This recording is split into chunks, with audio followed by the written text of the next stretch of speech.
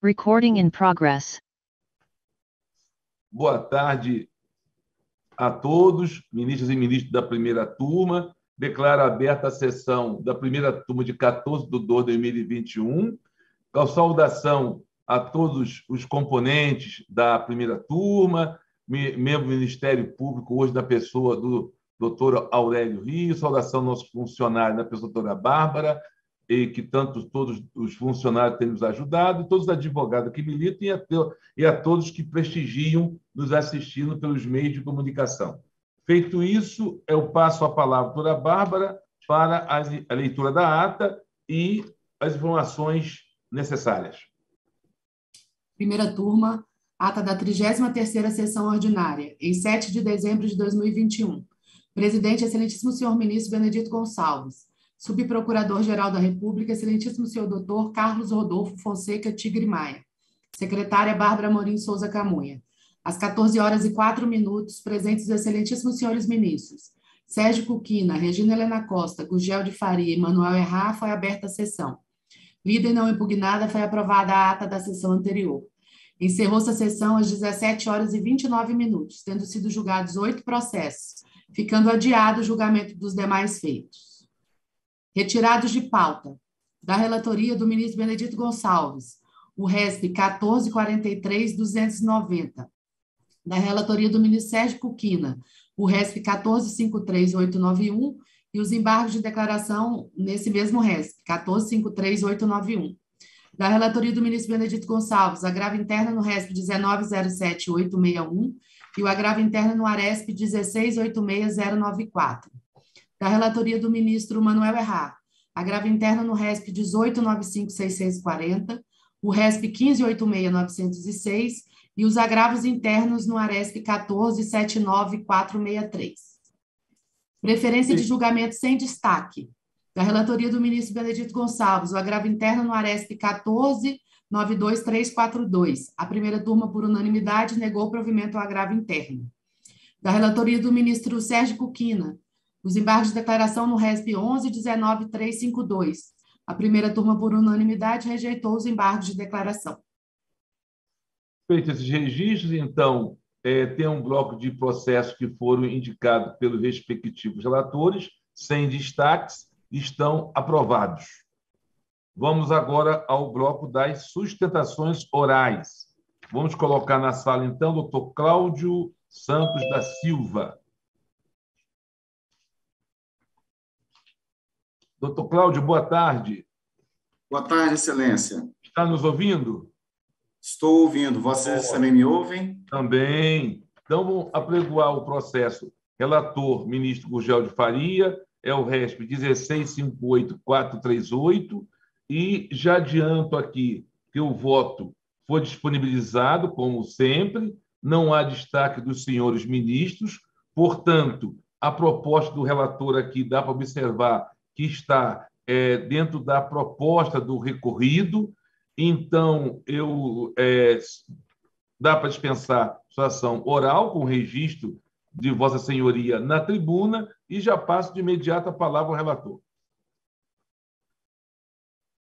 Senhor presidente, eu não vou nem ler a emenda toda, para abreviar, porque hoje nós temos nove processos, então, dois tópicos só, porque são os principais. É, aliás, vou ler um só.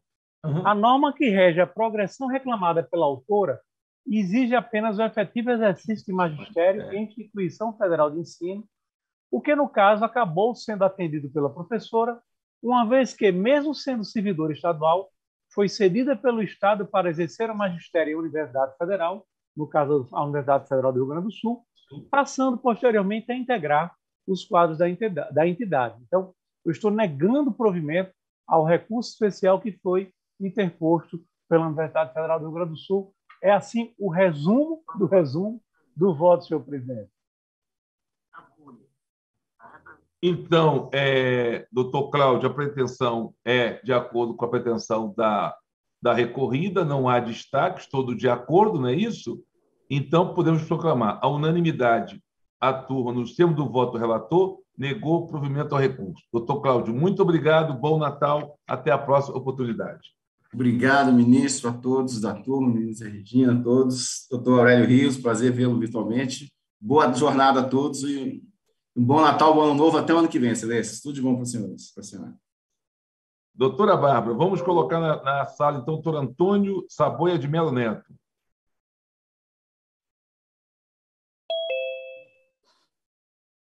Doutor Antônio Saboia, boa tarde.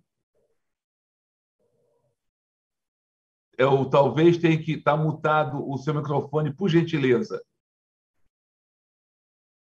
Oh, agora sim. Pois não, ministro. Boa tarde, senhor, os senhores me ouvem bem?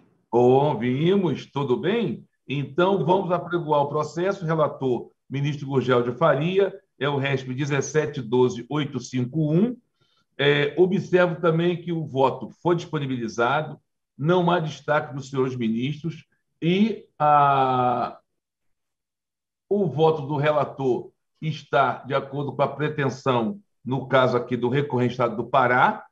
Registraremos na tribuna virtual Vossa Senhoria e passo a palavra ao ministro relator.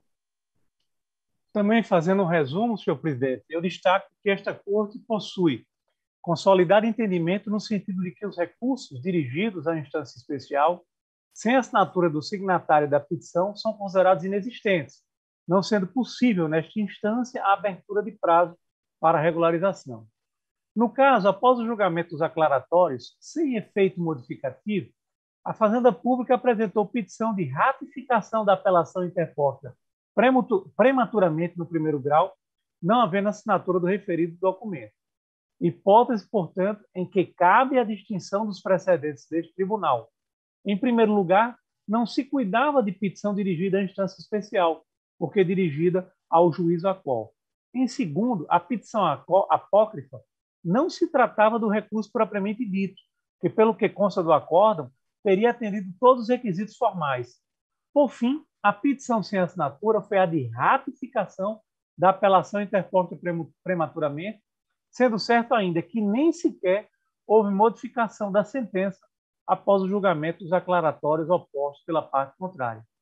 Na espécie, a petição de ratificação teria tão somente a função de confirmar o recurso anteriormente interposto, o qual este sim havia atendido todos os requisitos formais, existindo, portanto, uma única, perdoe, existindo, portanto, uma relação de complementação e integração entre as peças, sendo que a primeira já atendia à condição de existência e a, a segunda seria somente confirmatória.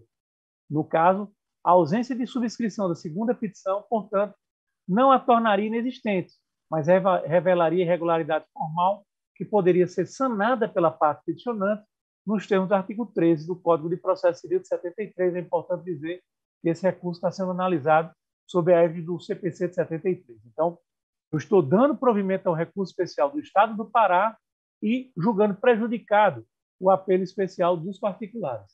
É assim que voto, senhor presidente. Sim, ministro relator, e eu, se não, não temos divergência, então proclamo o resultado. A turma, a unanimidade, nos termos do voto do relator, deu provimento ao recurso especial do Estado do Pará e prejudicado o apelo especial dos particulares. Doutor Antônio, ultimado o julgamento, muito obrigado por seus registros, bom Natal e até a próxima oportunidade. Agradeço a Vossas Excelências. Um abraço.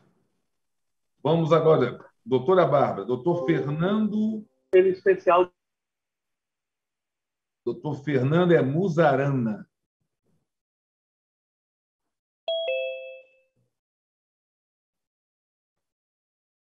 Doutor Fernando, boa tarde. Boa tarde, Excelência. Está nos ouvindo bem? Sim, escuto perfeitamente. Então, apregamos o processo. Relator, ministro Sérgio Coquina, é o RMS 67044 e já indago se dispensa a leitura do relatório. Dispensa sim, excelência. Com a palavra para a sua sustentação oral no prazo regimental de 15 minutos, por favor. Perfeito. Boa tarde, senhores ministros, eh, senhora ministra. Boa tarde, presidente Benedito Gonçalves e ao senhor relator, ministro Sérgio Cluquina. É, eu inicio aqui a minha fala agradecendo a oportunidade né, da palavra concedida, sendo essa a, a, minha primeira sustentação oral nesta corte, e manifestando aqui a minha satisfação em fazê-la perante a primeira turma. É, também faço, antes de adentrar ao mérito, excelências, uma pequena contextualização a respeito do impetrante deste mandato de segurança, só para ilustrar os senhores de que não estamos diante de nenhum aventureiro que está buscando aqui a intervenção do Poder Judiciário para uma suposta aprovação em um concurso público. Né? Nós temos aqui uh, uh, uma concessão de uma medida liminar, ainda no início né, da, da, tramitação desse concurso, que garantiu ao impetrante a participação dele nas diversas etapas subsequentes, em que todas essas ele logrou êxito, né, tanto com as notas suficientes como os títulos a serem apresentados para a aprovação final desse concurso, que pende apenas é, é, da comprovação né, desse mandato de segurança. Ao mesmo tempo, excelências, é, o, o impetrante ele também participou é, de um concurso público concomitante, de igual teor, também para o Ministério Público do Estado de Minas Gerais, ao mesmo tempo em que acompanhava ansioso a, a, a, o andamento desse processo, a, negativa do, do, do Judiciário catarinense é, ah. na concessão da segurança e ainda assim, mesmo diante de todo esse turbilhão de sentimentos, ele conseguiu ser aprovado também no concurso público do Ministério Público do Estado de Minas Gerais. Atualmente, ele exerce a função, já tendo sido, inclusive, é, finalizado o seu processo de vitaliciamento. Então, ele está em plena capacidade de exercer essa função tão nobre de promotor no Ministério Público, agora no Estado de Minas Gerais. Excelências, é, nós temos aqui que destacar também é, uma particularidade nesse processo, que foi o resultado do julgamento é, em primeiro grau, digamos assim, é, no Tribunal de Justiça de Santa Catarina. Os senhores podem ter visto ao longo do relatório que foi disponibilizado para vocês que o processo restou empatado né, no julgamento do grupo de câmeras de direito público de Santa Catarina. Houveram nove votos favoráveis e, e nove votos desfavoráveis à concessão da segurança.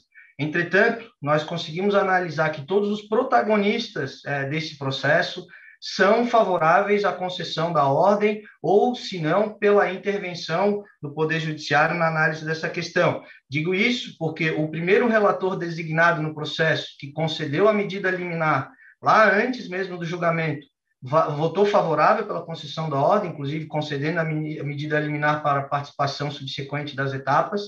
O segundo relator designado também votou favorável, né, apresentou um relatório com voto favorável à concessão da ordem. O presidente do órgão julgador do Tribunal de Justiça também votou favorável, e tudo isso se soma agora ao parecer do Ministério Público Federal, que deu um encaminhamento brilhante à solução desse processo é, determinando ali uma possível concessão parcial da segurança para complementar, né, de forma minimamente possível, a nota do candidato para que ele é, garanta a sua participação nos demais é, etapas e assim restou é, devidamente aprovado. Então vejam, excelência, que nós não estamos aqui diante de uma situação extrema de, de, de, de, abuso do poder ou abuso da intervenção do judiciário na análise de uma questão de concurso. Nós estamos aqui dentro de uma situação que se encaixa perfeitamente no tema 485 do STF, né, que, é, que, que significa dizer que houve uma violação da regra do edital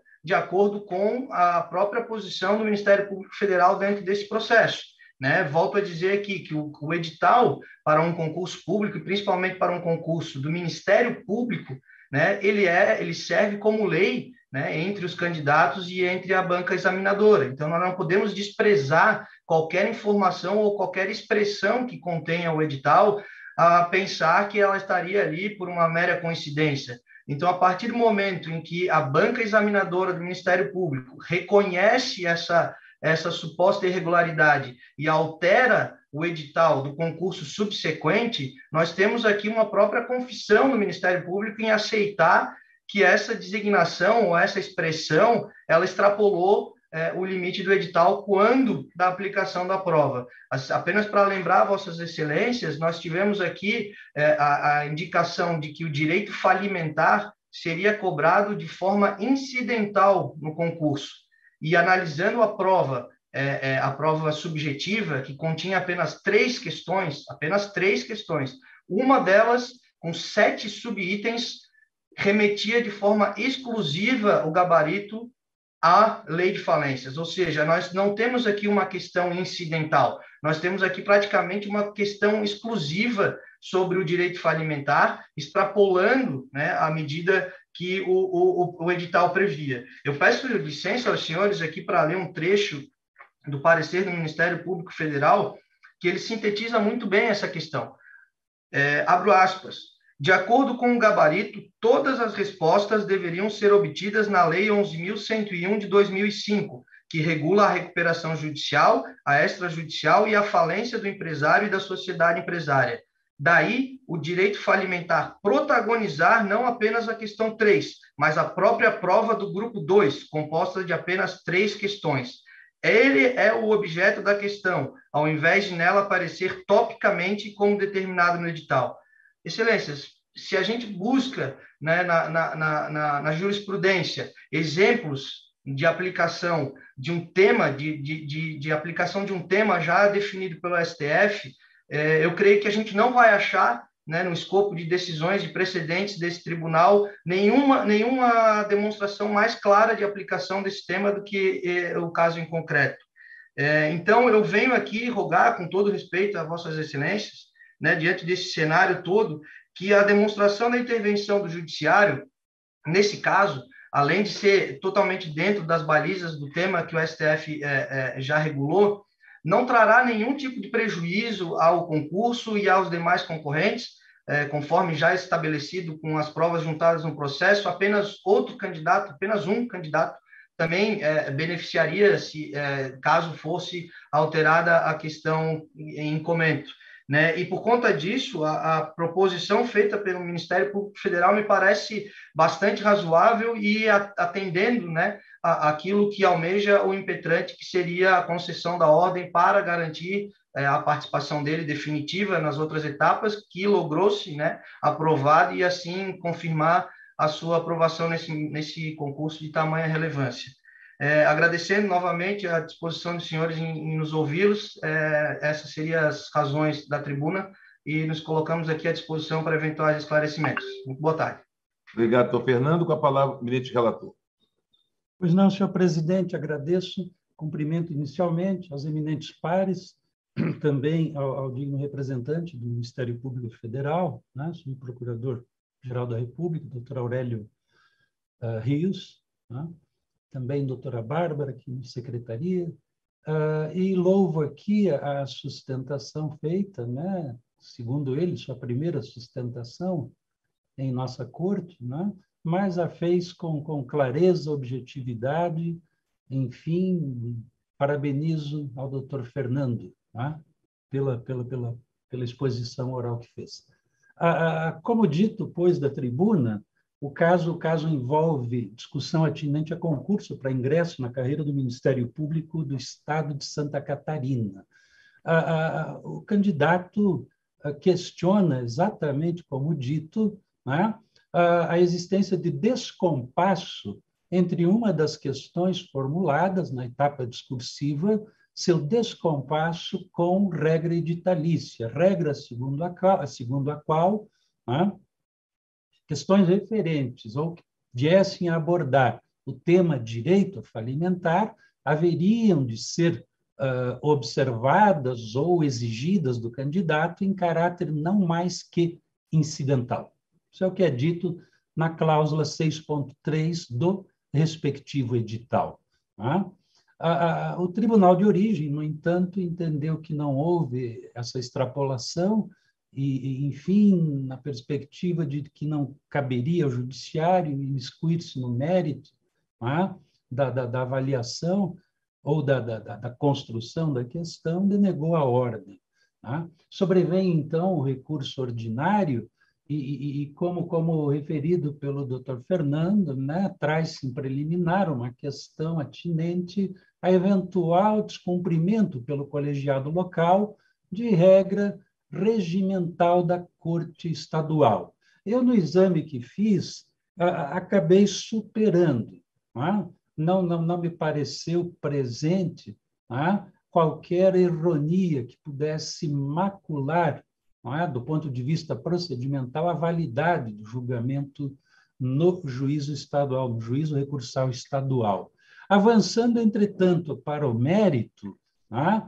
Uh, concluí, e até em coro com, com, com o também referido parecer do, do, Ministério Público Federal de Lavra, né, do ilustre subprocurador-geral da República, doutor Odim Brandão Ferreira, concluí na mesma esteira de que efetivamente a, a banca examinadora, no tocante à questão 3, trazida na, na exordial da impetração, efetivamente houve é, um absoluto distanciamento no tocante né, às balizas da cláusula 6.3. A totalidade da questão exigia do candidato atenção exclusiva né, no tocante à lei de falências de recuperação judicial, Lei 11.101. Portanto, ah, totalmente fora né, da, da, da, da cláusula editalícia a que me reportei. Transcrevi, inclusive, no voto, o conteúdo integral da questão assim formulada. Foi uma questão extensíssima, que eu ouso dizer aqui que promotores e juízes experimentados na área falimentar teriam dificuldades enormes para responder essa questão, tamanho grau de sua complexidade, mas a questão aqui não se trata apenas da complexidade, mas sim da incompatibilidade é, frente à, à, à, exigência posta né, na, no item 6.3 do edital, que também, como mencionado, sabemos, é a lei do concurso. Então, uh, oriento voto no sentido de reconhecer, sim, a falta de sintonia é, entre o conteúdo da questão e a regra editalícia de regência. Ah, não, não, não acolho, entretanto, o pleito autoral é, no tocante à possibilidade de que o judiciário, desde logo, atribuísse a nota faltante, o score faltante, para que o impetrante lograsse êxito de forma a prosseguir nas demais etapas. E isso porque, uma vez que reconheço a, a presença de ilegalidade, né, especificamente no tocante a essa questão 3, seria incongruente que pudéssemos aqui né, atribuir a nota restante, a nota faltante, de acordo com a pretensão do impetrante. Encaminho, encaminho o voto, então, nesse particular aspecto, no sentido de, de, de, de uh, determinar, enfim, a autoridade impetrada que adote as medidas necessárias tendentes a que a banca examinadora, tá? a banca examinadora, em relação a esse candidato, tá? reformule a questão a tempo e modo. Reformule também depois, uh, uh, dê a nota correspondente, mas ah, ao tempo em que vá refazer a questão, ah, evidentemente atenda às exigências editalícias, notadamente as balizas indicadas no item 6.3. Ah? Então, então, não entro aqui no mérito mesmo né, da, da, da, da complexidade da questão, reconheço sua falta de, de compatibilidade, né, com a regra editalícia e um desdobramento, né, e aqui vou numa linha diversa, portanto, do, do, parecer ministerial, que entendia pela possibilidade de, a partir da mesma questão, já se dar a nota faltante, os pontos faltantes, entendo que não seria possível, né, diante dessa situação relatada, então, orientando aqui a, a, a comissão examinadora, tempo e modo, né? até indico aqui, até 10 dias né? úteis eh, subsequentes ao trânsito em julgado né? da decisão, né? adote ou implemente a, a, os meios necessários para submeter esse candidato a essa questão que mostrou-se, revelou-se incompatível com as exigências editalícias. E aí, em atingindo a nota necessária, prosseguirá, e aqui o doutor Fernando já nos anuncia, né, que por força de liminar ele teria já logrado êxito em etapas posteriores, inclusive pontuação de títulos, notas que, em princípio, poderão ser aproveitadas, sem dúvida. Né? O que está em debate aqui diz respeito apenas à questão 3, dada por irregular. Tá? É esse o encaminhamento que proponho e trago aqui respeitosamente a vossas excelências. Tá? Ah, então, nesse sentido de, de conhecer e dar provimento parcial ao recurso ordinário, parcial porque não estou aqui uh, dando ou otorgando a nota desde já pleiteada pelo candidato como necessária a que avançar, que pudesse avançar no concurso. É como voto, senhor presidente, e me coloco à disposição dos eminentes pares. Então, o voto foi disponibilizado, é, não há destaques. Eu só pergunto ao relator se eu posso proclamar recurso ordinário parcialmente provido. Pode ser? Não, não está. Ou, como está? Provido para reformar em menor extensão. Ah, sim, é. Eu digo para reformar em. É, como ficou aqui. Aqui ficou provido para reformar o acordo e conceder a ordem, porém em menor extensão. Ah, sim, eu estava aqui na cabeça associando em menor extensão ao provimento apenas parcial. É uma questão mais aqui tá. de. Então, vamos como está Talvez, né? Como está no próprio dispositivo. Exatamente, não só Desculpe para até a, a, minha falta de correspondência não, que isso. no dispositivo. Então, é o relator dá provimento ao recurso para reformar o acordo recorrido e considerar a ordem, porém, em menor extensão. Todos de acordo? Então, atua unanimidade, nos termos do voto do relator, deu provimento ao recurso. Doutor Fernando, muito obrigado, Feliz Natal, até a próxima oportunidade. Excelências, muito obrigado, um bom recesso a todos e às famílias também. Agradeço aqui de Florianópolis, tenham todos uma boa tarde. Doutora Bárbara, vamos então, seria isso mesmo, doutor Tiago Luiz.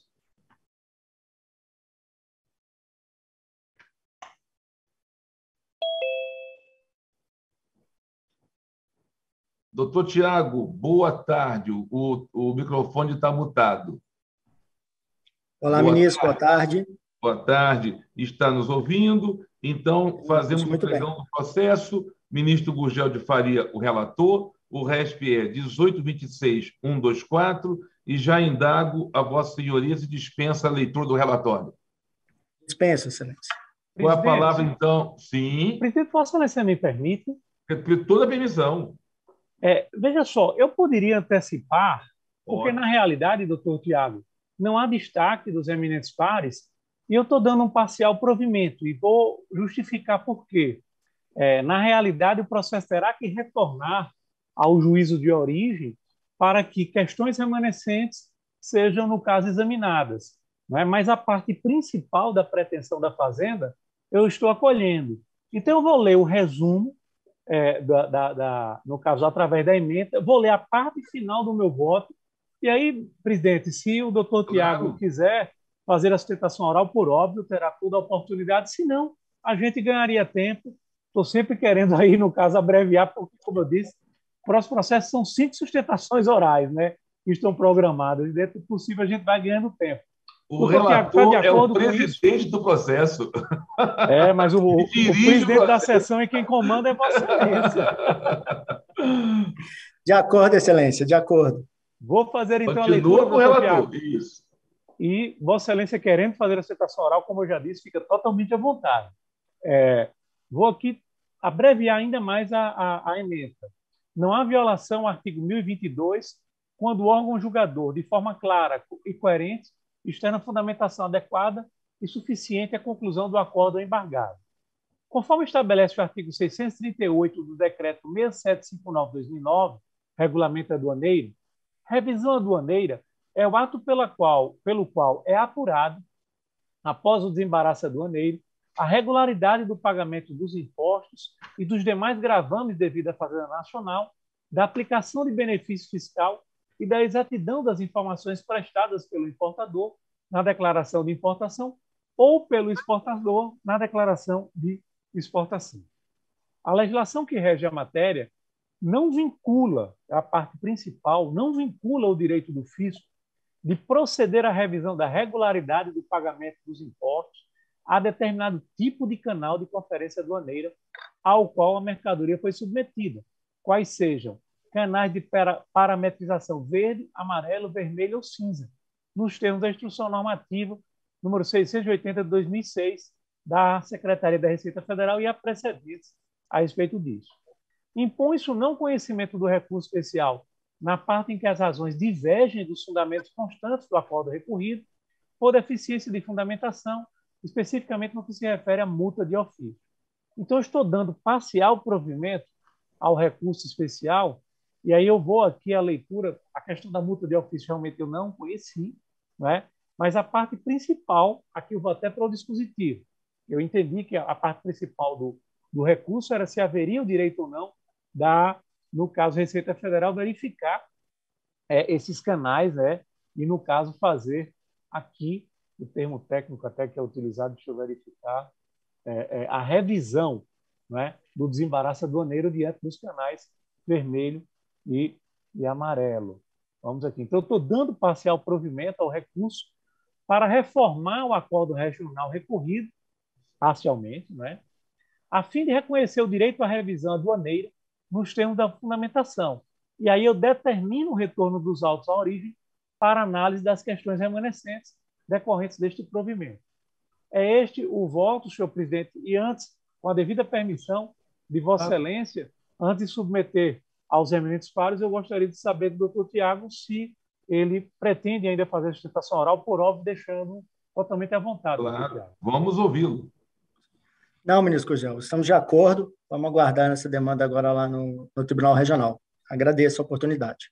E com a proposta do voto que foi disponibilizado, eu vejo que não há destaque, todos de acordo. Então, a turma unanimidade, nos tendo o voto do relator, deu parcial provimento ao recurso. Tiago, muito obrigado. Até a próxima oportunidade. Bom Natal. Obrigado, Excelência, igualmente. Bom, então agora vamos chamar os, advog... vamos chamar os advogados do próximo processo e amigos curi, que é doutor Leonardo, doutor Carlos Costa, doutor Eduardo, Luiz Eduardo e quem mais? Doutor André. Opa.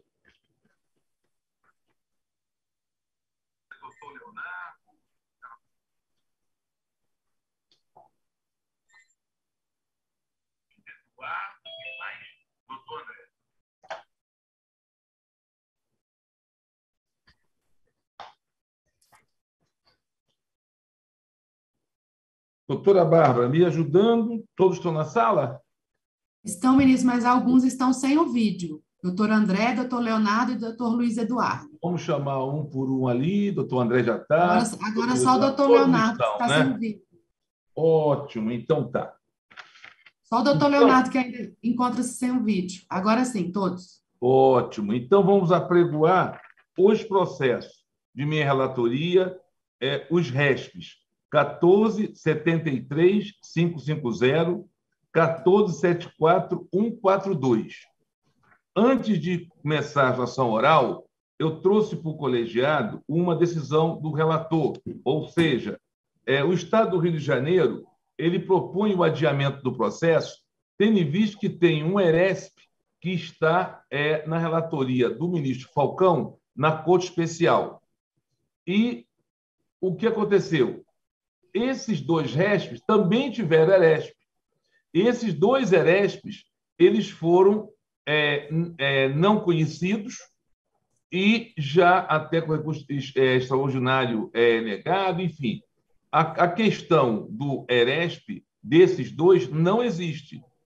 E o outro ERESP ainda está lá é, no Ministro Falcão, que são processos oriundos, a cobrança é a mesma, ICMS oriunda de três é, sentenças de execução fiscal, que originaram três apelações e três erespes.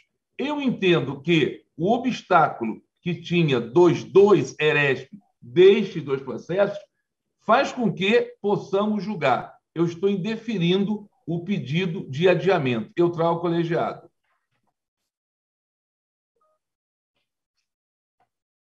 No silêncio, então, vamos então as frustrações orais serão na ordem de autuação.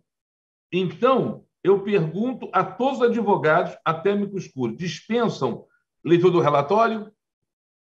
Pelo silêncio, sim. sim. Então, com a palavra, doutor Leonardo, pelo prazo regimental de 15 minutos. Senhor presidente, saúdo a todos na sua pessoa.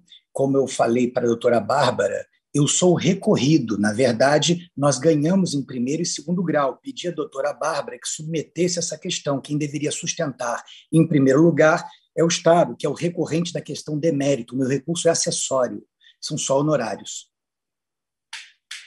Perfeito. Então, é, a ordem de autuação é que origina a ordem das sucessões orais. Por isso, vai começar pelo doutor Leonardo. Agradeço. Senhor presidente, saúdo a todos na sua pessoa. Serei muito objetivo.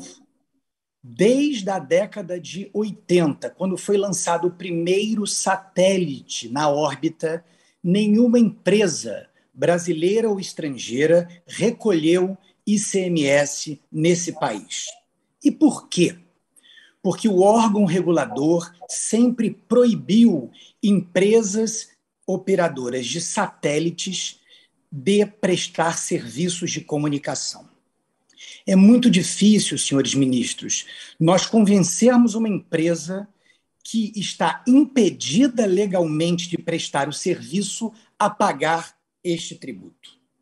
Ministro Sérgio Cuquina, eu tive o cuidado e a deferência de produzir um memorial para Vossa Excelência especial, fruto das suas preocupações com a suposta perda bilionária de arrecadação do Estado. Disse há cinco anos atrás no seu gabinete que ninguém perde o que nunca teve. Socorro-me a ministra professora Regina Helena Costa.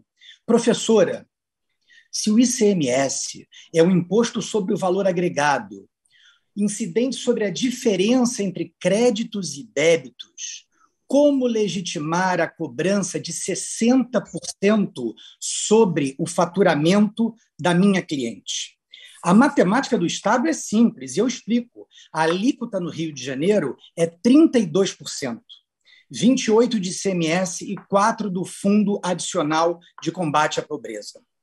A empresa estava impedida de prestar o serviço, logo ela não escriturava os seus livros.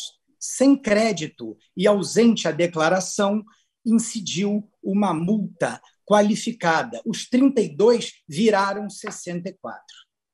Ministro Erhard, para coibir abusos como esse, o Superior Tribunal construiu uma jurisprudência defensiva. O divisor de águas foi em 1998, quando os estados resolveram ampliar as cobranças e as hipóteses de incidência com o convênio 69. A resposta do tribunal foi firme. Construiu uma jurisprudência, fixou um paradigma e publicou uma tese. A tese 427 diz o seguinte: é ilegítima a cobrança de ICMS sobre atividade meio. Vejam mesmo que essencial à efetivação da comunicação. É isso que está julgado no paradigma. Os ministros Fux e Benedito lideraram a uniformização de jurisprudência e cunhou-se uma expressão: serviços meios e serviços fins. Há anos atrás, quando o Estado sustentou, ele dizia que nós deveríamos qualificar juridicamente que serviço é esse. Eu respondo agora: Existem duas relações jurídicas. Uma relação jurídica do meu cliente, operadora de satélites, que vende uma capacidade satelital para a empresa de telecomunicações. Isso não é tributado, nunca foi tributado. Agora tem uma segunda relação ou qualificação jurídica, como quer o Estado. Essa segunda é da empresa de telecomunicação que presta serviço de comunicação com o meu satélite para o rosário de amigos da corte que irá se manifestar. Essa, evidentemente, é tributável. Para mim, quem melhor explica na doutrina a diferença entre atividade meio e fim é o professor da USP, Chueire, que teremos o privilégio de ouvir. Sua Excelência diz que o satélite está para a Terra, assim como o roteador está para casa. Na verdade, satélites e roteadores simplesmente amplificam o sinal, funcionam como espelho, isoladamente, eles não realizam comunicação. Aliás, sobre esse tema, a primeira sessão julgou torres de transmissão. Torres de transmissão nada mais são do que satélites terrestres. As torres de transmissão isoladamente não realizam comunicação e é por isso que foi afastada a incidência. Eu sei, senhores ministros, nós não estamos jogando, julgando torres de transmissão, muito menos roteador. Mas torres, roteadores e satélites necessitam de autorização da Agência Nacional de Telecomunicações. E o órgão regulador, nestes autos, deu uma certidão dizendo que operação de satélites não é telecomunicação. Mas existe uma segunda forma de se aferir se a atividade é meio ou fim. E essa é a prova pericial. A prova pericial foi produzida nesses autos. E a partir do momento que o STJ conheceu do recurso, a prova pode ser valorada. O que, que disse o Instituto Nacional de Telecomunicações, que é um órgão do governo federal e que produziu a prova? Disse o seguinte: os satélites da Star One não realizam comunicação, apenas propagam sinais. Mas existe uma terceira e derradeira possibilidade de se aferir se uma atividade é meio ou fim, e essa é a jurisprudência.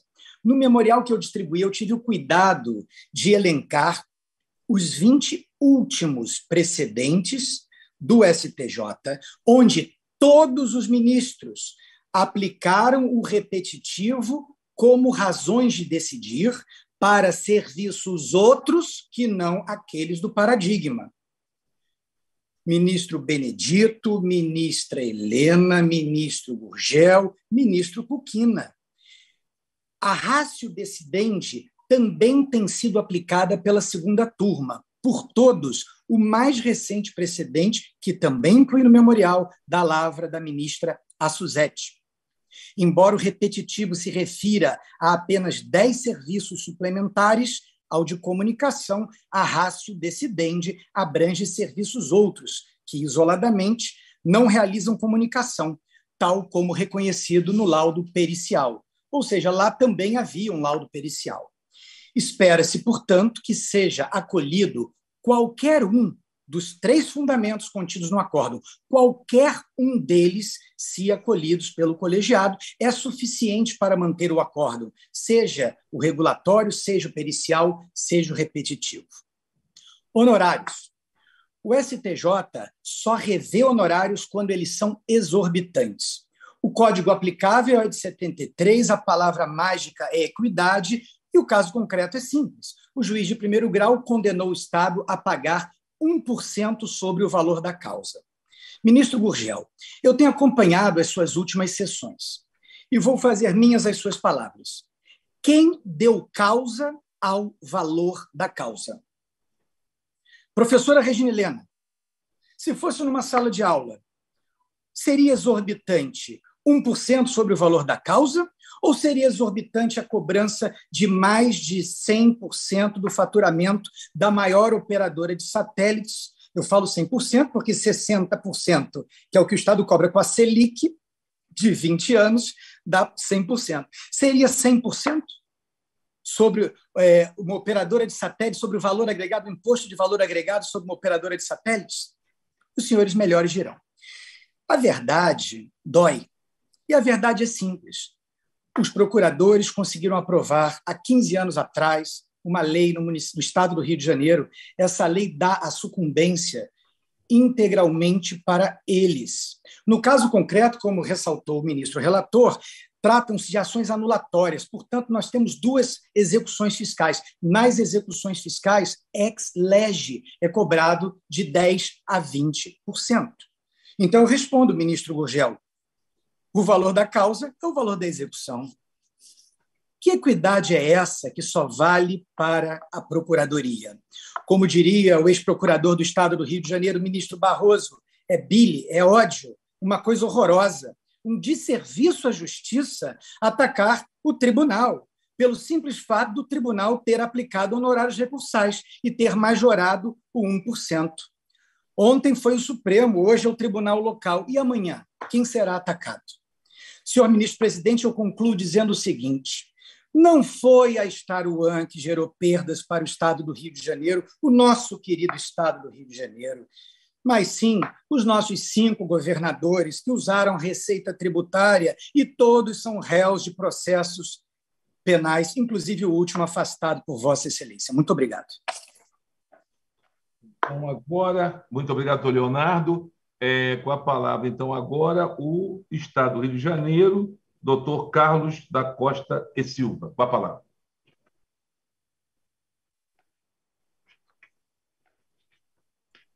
Doutor Carlos, cadê? É, ah, tá. Certo. Excelentíssimo senhor ministro presidente, excelentíssimo senhor ministro relator, excelentíssimos senhores ministros que compõem essa primeira turma, excelentíssimo representante do Ministério Público, nobres advogados que representam a parte contrária, eu acompanho essa discussão, uma discussão é, relativamente nova, é uma discussão de um valor elevadíssimo. Na origem, são meio bilhão para cada uma das duas ações anulatórias. Então, é realmente uma discussão é, de expressão econômica e, e de, de, certo desafio técnico-jurídico. E por que isso? É, a discussão é se incide ou não ICMS sobre o serviço de provimento de capacidade satelital. O que seria esse provimento de capacidade satelital? É, seria uma espécie de via aberta pela existência de um satélite que pertence à recorrida, a, a Star One agora, claro, e que permite que terceiros, e segundo a resolução da Anatel, esses terceiros deveriam ser prestadoras de serviços de telecomunicação, é, façam uso dessa via para transmitir as suas informações. Mas veja bem, não é uma locação, como se quis ou se defendeu na petição inicial dessas ações anulatórias. Não há um bem, uma coisa cuja posse seja transferida à empresa. Na verdade, a Star One, o que ela faz é, ela faculta a utilização de uma via de frequência, ou radiofrequência, ou frequência eletromagnética. Aí me desculpe a, a carência de subsídios da minha parte, perfeitos para dizer exatamente que tipo de frequência é essa, mas é fato que existe uma via que se abre e que se mantém aberta por serviços praticados, exercidos e prestados pela Star One. Então, não é um aparelho, ou é um roteador, ou não é um poste, nada disso é transferido, tem a posse transferida para os clientes da Star One. É, o que a Star One faz é manter aberta uma via é, para que essa comunicação se faça.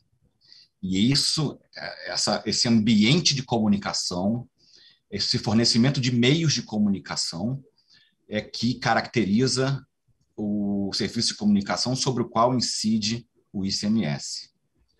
Em primeira instância, ainda no Rio de Janeiro, é, acolheu-se a tese de, de locação.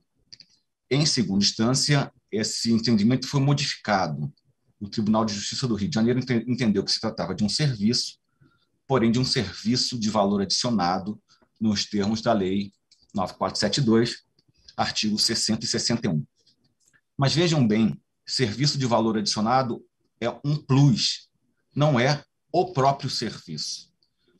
Portanto, como é que a gente poderia imaginar, no caso concreto, que uma comunicação fosse feita de um ponto a outro do país ou de um ponto a outro do globo sem a intervenção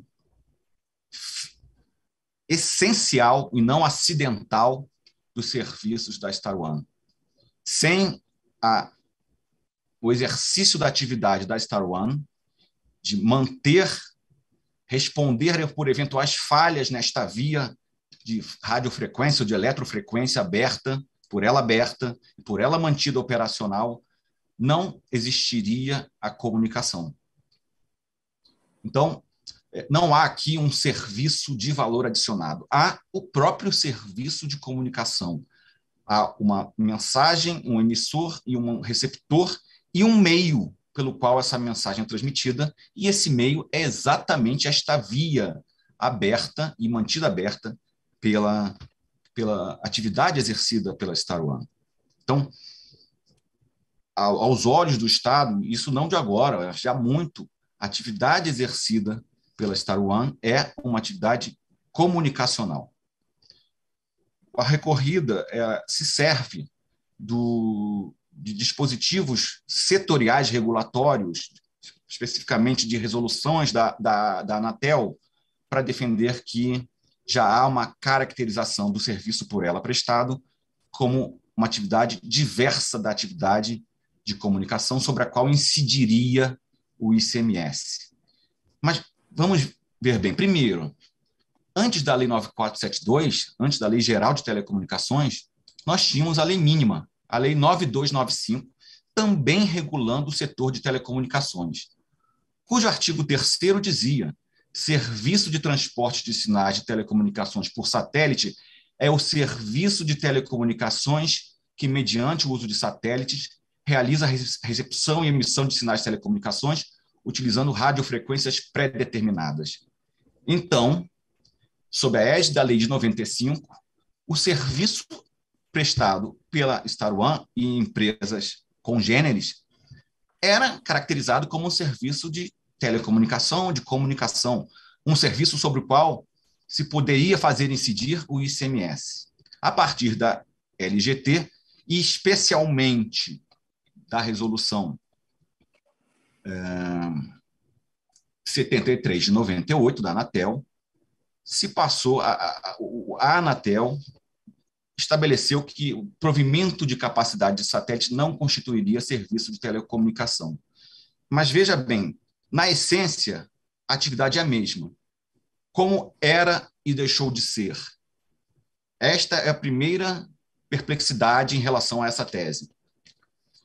A, a menção ao artigo 110 do CTN, segundo o qual a lei tributária não pode mudar conceitos é, albergados pela Constituição Federal ou pelo direito privado, não serve, portanto, a essa discussão, porque nós estamos num âmbito de uma conceituação setorial regulatória cambiante ao longo do tempo, porque em 95 era serviço de telecomunicação e deixou de ser serviço de telecomunicação, e mais, por definição de uma resolução da Anatel.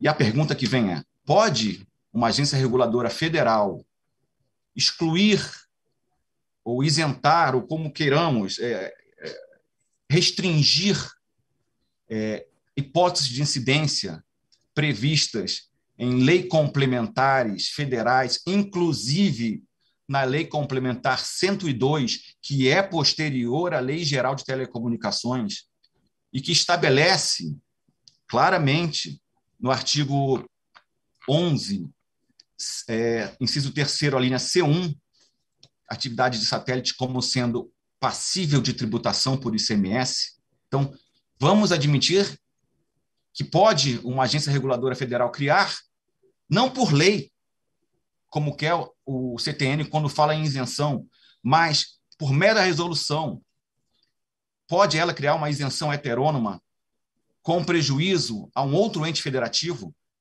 Ao Estado do Rio de Janeiro, parece que isso não é possível. Mas vamos supor, e eu não vou me alongar tão mais, que nós nos ativéssemos à resolução da Anatel, as resoluções da Anatel.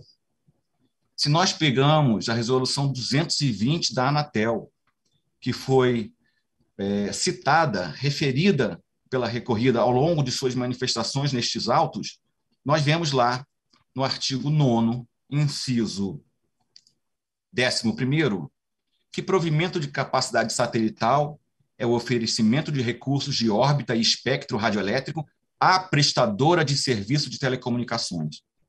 Disso podemos extrair, se é, aceitarmos que essa resolução caracteriza por completo a atividade da, da, da Star One, teríamos duas conclusões. Um, a prestadora de serviço de telecomunicações não tem condições de prestar o serviço completo quando se trata de transferir uma mensagem de um ponto a outro do globo, e por isso ela se utiliza da atividade de uma outra prestadora de serviço de telecomunicação, que seria a Star One, mas ainda que não, não aderíssemos a essa ideia, só haveria provimento de capacidade satelital quando o cliente da Star One fosse uma prestadora de serviço de telecomunicações. Mas, ora, está nos autos que, se não todos, a maior parte dos clientes não são prestadores de serviço de telecomunicação.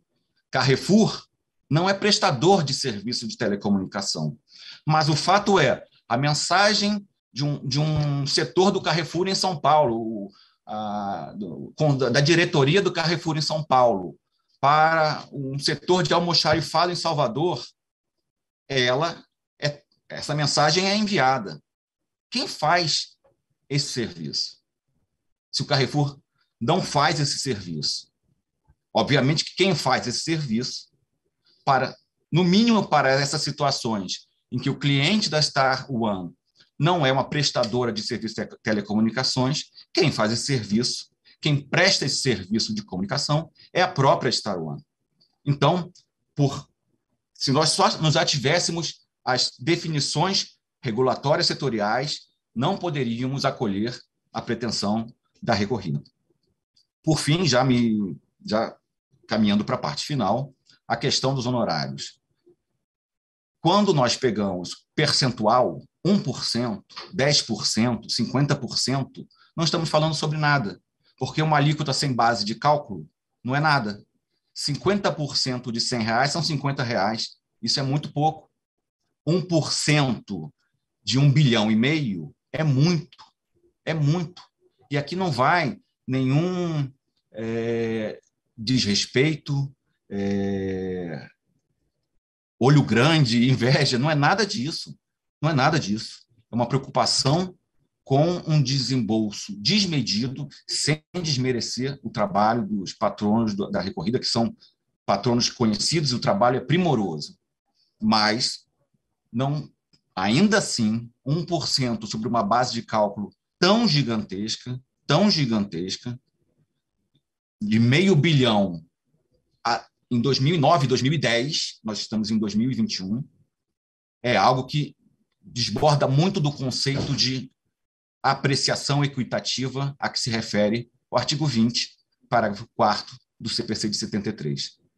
Então, por essas razões, o Estado do Rio de Janeiro pede o provimento dos seus recursos especiais.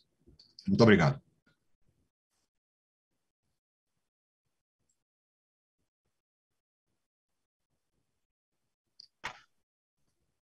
Os amigos da corte, que são três. É, eu estou pensando fazer uma analogia com os litisconsórcios, que está no artigo 160, para o segundo do regimento. Se houver acordo. Em havendo acordo, é, o, equipararia, por analogia, os amigos da corte, os consórcios, e daria 10 minutos para cada um. Se não tiver acordo, 15 completos. Há acordo? Então, ótimo, muito obrigado. Então, doutor Eduardo Maneira, é, Associação Brasileira de Emissora de Rádio e TV, pelo prazo agora que nós convencionamos. Boa tarde, ministro, presidente e relator deste caso, ministro Benedito Gonçalves, ministra Regina Helena Costa, os demais ministros da primeira turma. É, aqui eu estou falando pela ABERT, Associação Brasileira de Emissoras de Rádio e Televisão. É, e cumpre a ABERT, como amicus curi e representante das emissoras de rádio e televisão, destacar, dar um testemunho que a postura da recorrida Star One é passiva. Ou seja, na relação com as associadas da ABERT, a Star One tem uma relação passiva. Ela não emite e nem altera o sinal gerado em terra pelas associadas da BERT. Funcionando satélites de propriedade da Star One, apenas como um espelho, como já foi dito pelo patrono da recorrida, e é o termo empregado pelo próprio Ministério da Ciência e Tecnologia para direcionamento do sinal. E como já foi dito também, nem poderia a Star One ser a real emissora de sinais, pois ela não possui autorização. Não é uma questão de classificação pela Anatel. Ela não possui autorização da Anatel para atuar como prestadora de tais serviços. Então, não há dúvida para a BERT que o provimento de capacidade satelital configura simples fornecimento de infraestrutura, disponibilização de equipamentos sem prestação de serviço de telecomunicação. Ainda que se cogite, e se cogita, haver algum tipo de serviço atrelado a esse contrato de cessão de capacidade satelital, envolvendo, por exemplo, a manutenção de satélites, o ponto é que serviço de comunicação não é. Tal constatação já seria suficiente para afastar a exigência do CMS. E justamente, e este é o ponto como a Mixcure gostaria de destacar, por não se tratar de um serviço de comunicação, já tramita no Congresso Nacional projeto para alterar a lista da Lei Complementar 116 de 2003, para nela incluir o provimento de capacidade satelital para fins de exigência do ISSQN, é o projeto de lei complementar 469 de 2018, que pretende incluir exatamente esse provimento de capacidade satelital no rol dos serviços tributados pelo ISS. Obviamente, se há essa pretensão, a inclusão na lei complementar do ISS jamais poderia ser serviço de comunicação. E é, é, apenas também para registro, Antes mesmo da inclusão dessas atividades na lista de serviços, o município do Rio de Janeiro já exige o ISS de provimento de capacidade satelital, havendo inclusive autos de infração lavrados neste sentido. Então, para não, ministro Benedito, não ocupando sequer os 10 minutos, em conclusão, a Mixcure aberte seja diante da jurisprudência do, deste Superior Tribunal de Justiça, bem como do Supremo, seja diante das manifestações dos órgãos técnicos, no sentido que o provimento de capacidade satelital não se confunde com o serviço de comunicação, entende a ABERT, representando as empresas de rádio e televisão, que deve ser afastada a incidência do ICMS nessa atividade. Muito obrigado pela atenção de todos os senhores e já aproveito para desejar um Feliz Natal a todos.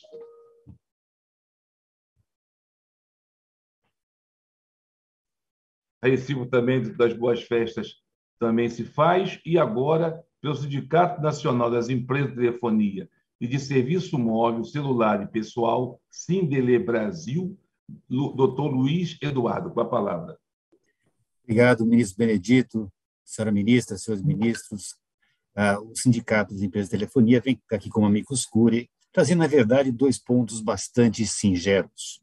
Primeira questão é dizer, olha, para ter o ICMS eu preciso não de comunicação, eu preciso ter uma prestação de serviço de comunicação. Porque comunicação, senhores ministros, permitem, o advogado faz. Comunicação existe em qualquer fenômeno. Agora, uma prestação de serviço de comunicação implica que alguém se comprometa a tomar um sinal de A e levar este sinal a B, levar uma informação, uma, uma mensagem de A a B. E o que nós vemos no caso não é isso. Nós não encontramos aqui uma empresa que se comprometa a levar algum sinal, que responda por algum sinal ou quejandos. Ao contrário, o que nós encontramos aqui é uma empresa que não sequer, que sequer tem, tem informação sobre como é utilizada a capacidade satelital e, e qual é o sinal, qual é a mensagem informa, informada. Não existe esse controle.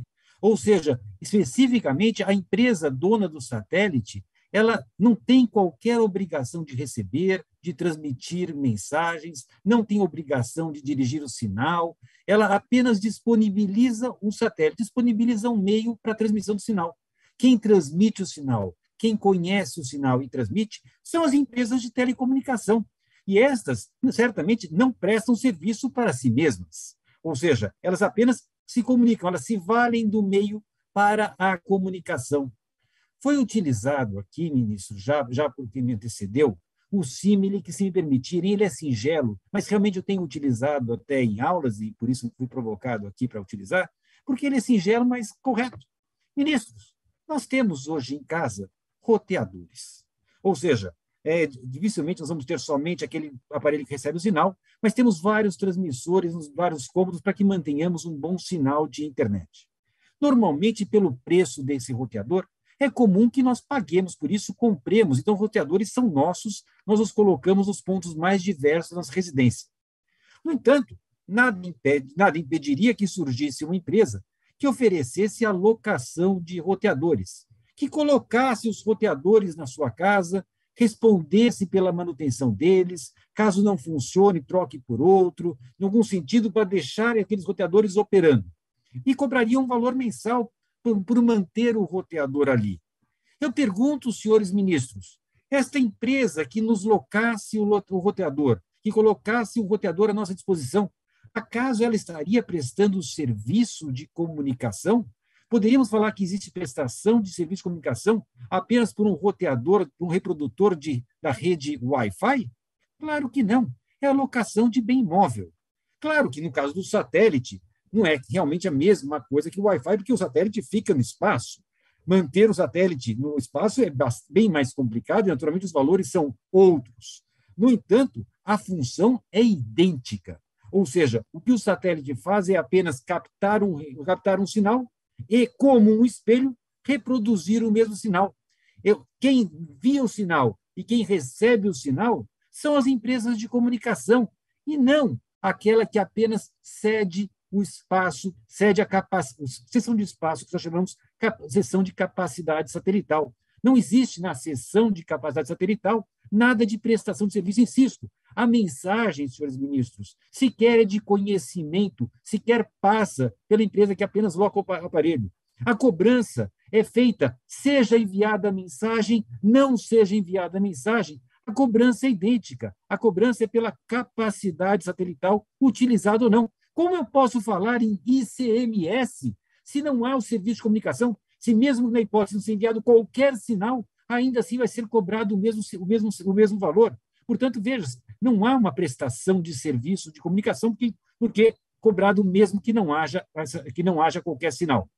Finalmente, senhores ministros, eu gostaria de brevemente dizer que me incomoda ouvir sobre perdas milionárias do Estado do Rio de Janeiro. Nós estamos falando, senhores ministros, de um imposto não cumulativo, o ICMS. O que, que diz o imposto não cumulativo? Este imposto é cobrado nas várias etapas até chegar ao consumidor final, que deve com ele arcar. Portanto, senhores ministros, existe no ICMS o que nós chamamos efeito de recuperação. Ou seja, se a, a empresa a empresa que oferece a capacidade satelital não cobra ICMS, significa também que a tomadora, agora sim, aquela que loca o serviço, também não tem nenhum crédito. Ou seja, as empresas de comunicação, que estas sim pagam ICMS, não se creditam de qualquer ICMS na etapa anterior, porque não houve tributação. Se, como quer o Estado, Estado do Rio de Janeiro, se houvesse a cobrança sobre a alocação de capacidade satelital, se houvesse ICMS, certamente esse, esse imposto, porque estaria no meio da cadeia produtiva, daria crédito na etapa subsequente. O que eu quero dizer aqui, senhores ministros, é que o imposto que não é recolhido sobre a etapa da cessão de espaço satelital é pago ao Estado pela prestadora de serviço de comunicação, esta sim, porque ela não toma crédito. Portanto, senhores ministros, o Estado do Rio de Janeiro pretender agora receber o ICMS quando o cliente, quando, quando aquele que utilizou a capacidade satelital não tomou crédito, significaria o Estado do Rio de Janeiro receber o imposto duas vezes, pois já o recebeu na medida que a prestadora de serviços de comunicação não tomou crédito porque não houve tributação na etapa anterior. Senhores ministros, do mesmo modo como, quem, como o doutor Eduardo me antecedeu, também eu não utilizo os 10 minutos, mas sim gasto, utilizo 10 ou 20 segundos apenas para desejar a vossas excelências e às suas famílias boas festas, um Feliz Natal e um excelente 2022. Muito obrigado. Doutor Eduardo, a recíproca também sobre as boas festas, muito obrigado. E agora, doutor André Mendes, pela Associação Brasileira de Televisão por Assinatura. Boa tarde, eminente ministro Benedito Gonçalves, senhora e senhores ministros. É, também serei breve e direi, uh, tratarei de pontos que não irão se sobrepor aos pontos dos que me antecederam. Estou aqui como representante das empresas de TV por assinatura via satélite. São aquelas empresas que vendem o serviço de televisão e o transmitem via satélite até a residência dos seus usuários. Essas empresas, elas são prestadoras de serviço de telecomunicação, as associadas da Associação Brasileira de TV por Assinatura, que eu aqui represento, e como prestadoras do serviço de telecomunicação via satélite, pagam o ICMS. A Star One, que é a recorrida nesses autos, ela apenas possui satélites que ficam em órbita, mas não realiza, e é esse testemunho que me incumbe aqui trazer, nenhuma prestação de serviço de telecomunicação, nenhuma transmissão de mensagem. Assim como uma empresa pode escolher em ter uma sede própria ou ter uma sede alugada, uma empresa de telecomunicação via satélite, que é o caso das associadas da Associação Brasileira de TV por Assinatura, pode escolher entre ter um satélite próprio ou ter um satélite alugado. É apenas um equipamento, um equipamento que é utilizado no todo, assim como a sede da empresa também é necessária à atividade. Desse modo, posso aqui atestar que quando se loca espaço em um satélite, loca-se um espaço, um espaço virtual, no qual o sinal que é enviado da Terra a partir de uma antena da operadora de TV por assinatura, ele passa e é captado por uma outra antena, também da operadora de TV por assinatura, no estado em que estiver domiciliado o seu usuário, que é inclusive o estado competente para receber o ICMS. E, nesse particular, eu também me permito aqui, com as devidas vênias à sustentação oral do Estado recorrente, é, dizer que não há nenhum tipo de conflito entre a legislação regulatória e a legislação tributária do ICMS. É, a lei mínima, que foi publicada em 1995 e preparou o Brasil para a Lei Geral de Telecomunicações, que veio em 1997, não possui conflitos em relação à definição do que é serviço de comunicação em relação à atual Lei Geral de Telecomunicações. A verdade é, a atividade das associadas da ABTA, que eu aqui represento, sempre foi prestar serviço de telecomunicação por satélite. Repito, esse é um serviço de comunicação. Mas o satélite pode ser próprio ou pode ser alugado. Quem aluga um satélite opta, assim como quem opta por alugar a sua sede física, digamos assim. Então, não há nenhum conflito entre a lei mínima e a lei geral de telecomunicações. E mais, a lei Candir, inclusive, deixa claro que cabe ao Estado em que estiver o usuário do serviço de telecomunicação por satélite cobrar o ICMS referente a essa atividade. E também pedindo vênia ao Estado recorrente, essa não é uma discussão nova. Essa discussão, na verdade, começou com a edição do Convênio ICMS número 69 de 1998, é uma discussão, portanto, eminentes ministros, eminente ministra, que já data de mais de duas décadas. O próprio caso já está tramitando há 19 anos. E sobre essa discussão, esta corte possui iterativas manifestações no sentido de que não se pode tributar a atividade meio para a prestação do serviço de comunicação, que este sim é tributado pelo ICMS. Ou seja, a competência dos estados em matéria de ICMS comunicação é para tributar a atividade fim, que compreende a prestação de um serviço de telecomunicação, que nada mais é do que transmitir mensagem entre dois pontos, preservando o seu conteúdo, valendo-se de um meio e de um código para tanto. Isso é o que diz a jurisprudência do STJ a respeito do convênio 69 de 1998, já vetusto, portanto, jurisprudência sedimentada em recurso repetitivo no tema 427, mas o primeiro precedente já data de 2003, o primeiro precedente da sessão, pela ilegitimidade desse alargamento que o convênio Confaz pretendeu fazer do fato tributável do ICMS Comunicação e que já foi também referendado pelo Supremo Tribunal Federal em inúmeros precedentes. Cito aqui um, um recurso extraordinário 572.020, que sustentou ter competência para tributar o ICMS somente em relação às atividades fim. Atividade meio não se tributa, os estados não possuem essa competência no que tange ao imposto sobre serviços de comunicação.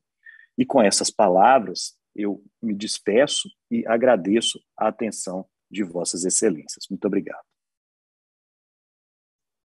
Agradecemos mais uma vez também doutor André Mendes e a relatoria parabeniza as ações orais, tanto do Estado do Rio de Janeiro como do contribuinte e os amigos da Corte.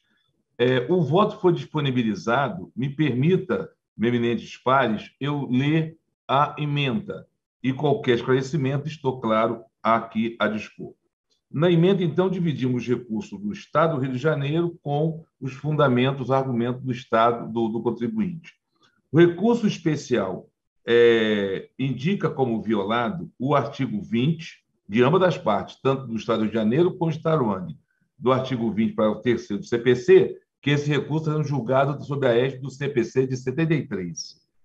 O recurso especial é interposto pelo Estado do Rio de Janeiro, também indica, então, repetindo, relação ao artigo 20, além dos artigos 2 3 e 11, terceiro C1 da Lei Complementar 87, 565, 1196, 1197, todos do Código Civil, e 4582 e 535 do CPC de 73.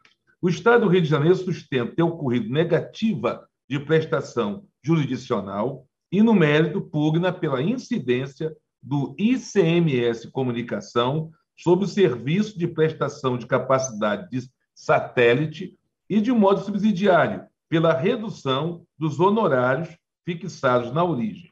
A Starone recorre tão somente para pleitear a majoração dos honorários. A emenda, então, agora disseca de modo resumido cada recurso. Recurso especial primeiro interposto pelo Estado do Rio de Janeiro. Quanto à alegação de violação aos artigos 458 e 535 do CPC, no que diz respeito à suposta negativa ou insuficiência de prestação jurisdicional, observa-se que a Corte Regional empregou fundamentação adequada e suficiente para dirimir a controvérsia, dispensando, portanto, qualquer integração à compreensão do que fora por ela decidido. É Corte Regional referiu Tribunal de Justiça do Rio de Janeiro, não TRF, que a questão foi estadual. Nos termos da jurisprudência desta Corte Superior, aspas, a incidência do ICMS no que se refere à prestação dos serviços de comunicação deve ser extraída da Constituição Federal e da Lei Complementar 87, incidindo o tributo sobre serviço de comunicação prestado de forma onerosa, através de qualquer meio, inclusive a geração, a emissão, a recepção, a transmissão e a retransmissão, a repetição e ampliação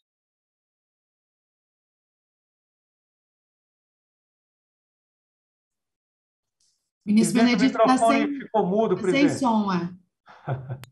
Desculpe. Então, vamos repetir, então.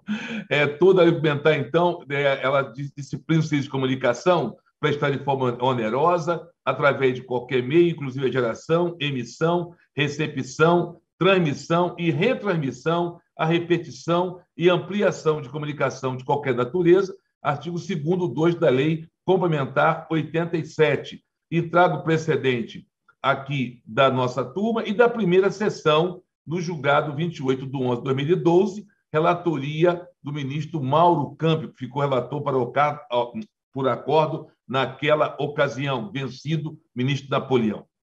A primeira sessão do STJ, no julgamento do RESP 816-512, julgado na sistemática dos repetitivos, decidiu que o ICMS somente incide sobre o serviço de tele, telecomunicação propriamente dito, e não sobre as atividades, meios e serviços complementares. O caso dos autos, em que se discute a incidência do ICMS Comunicação sobre o serviço de provimento de capacidade de satélite, também segue a linha dos demais precedentes do STJ, no sentido da não tributação dos serviços suplementares ou atividade meio. Os satélites disponibilizados se constituem em meios para que seja prestado o serviço de comunicação, escapando-se a hipótese de incidência do imposto. Recurso especial de Starone e do Estado do Rio de Janeiro contra os honorários. No tocante aos honorários, anota-se que, segundo o entendimento desta Corte, vencida a Fazenda Pública, caso dos autos, a fixação dos honorários não está distrita aos limites de 10% e 20%. Estamos na égide do CPC de 7,3%, podendo ser adotado como base de cálculo o valor dado à causa ou condenação, nos termos do artigo 20, para o quarto daquele diploma, ou mesmo um valor fixo, segundo o critério de equidade. Aqui cito também o resto 11.55125, também sistemática de repetitivo, julgado 2010, relator ministro Castro Meira. Esta Corte também, em sua jurisprudência, orienta-se no sentido de que, em regra, não se mostra possível, em recurso especial, a revisão do valor fixado a título de honorários advocatício, pois tal providência exigiria novo exame do contexto fático probatório constante dos autos, o que é vedado pela súmula 7, também desta Corte. Todavia, o óbice da mesma súmula pode ser afastado em situações excepcionais, quando for verificado excesso ou insignificância da importância arbitrada, ficando evidenciada a ofensa aos princípios da razoabilidade e da proporcionalidade.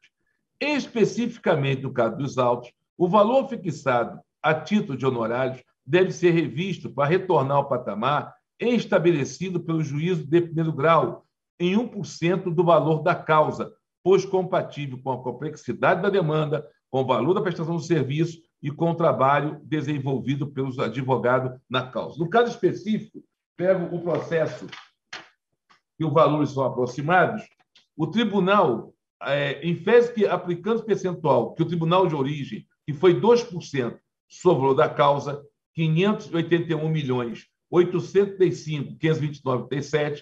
A verba honorária alcança exorbitante valor de 11 milhões 606 mil em números redondos. Assim, entendo que o valor fixado deve ser reduzido para o patamar estabelecido, a COP, que foi 1%, que ficará em 581.835. É o valor aproximado também dos dois processos. Então, meu voto é recurso especial do Estado do Rio de Janeiro, conhecido e provido em parte apenas para fixar a verba honorária em 1% sobre o da causa. E recurso especial do Starone, que é só sobre honorários, para aumentar, não provido. É como voto e colhemos, então, os votos. Ministro Sérgio Coquina. Senhor presidente, boa tarde. Cumprimento a todos os eminentes causídicos que se pronunciaram ah, ah, ah, e, e, digo até, gostaria eu, na, na, na, queira Deus, hipótese de um dia estar em juízo litigando, quisera eu ter o luxo e o conforto de contar com três cure com a qualidade dos que aqui se pronunciaram e todos convergentes, enfim, né? é, eu, eu, ouvindo atentamente, também lendo aqui a manifestação, o voto né, alentado do eminente relator, ah, estou, no mérito, acompanhando Sua Excelência quanto à não incidência do tributo nessa operação, como pretendido pelo fisco fluminense. Ah, nos dois casos, senhor presidente, portanto, não é, que são idênticos.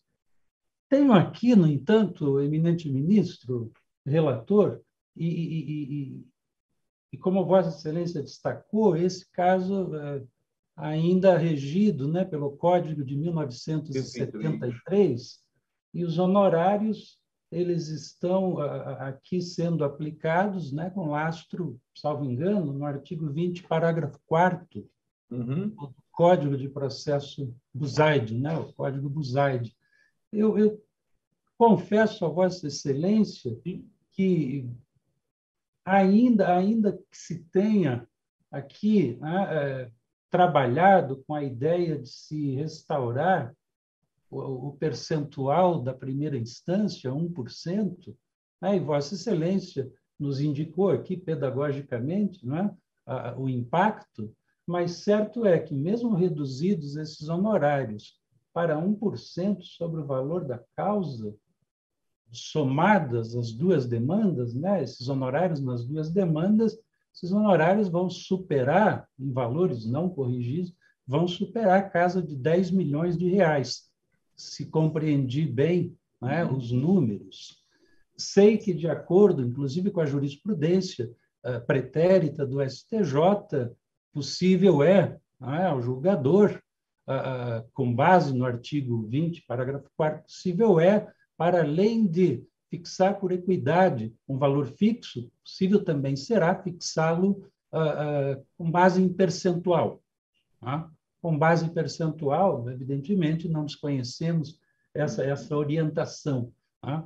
Mas eu estou, de alguma forma, aqui, senhor relator, preocupado com esse, com esse sem qualquer desdouro, tá? a, a, eficiência que, que, de que se revestiu o trabalho tá?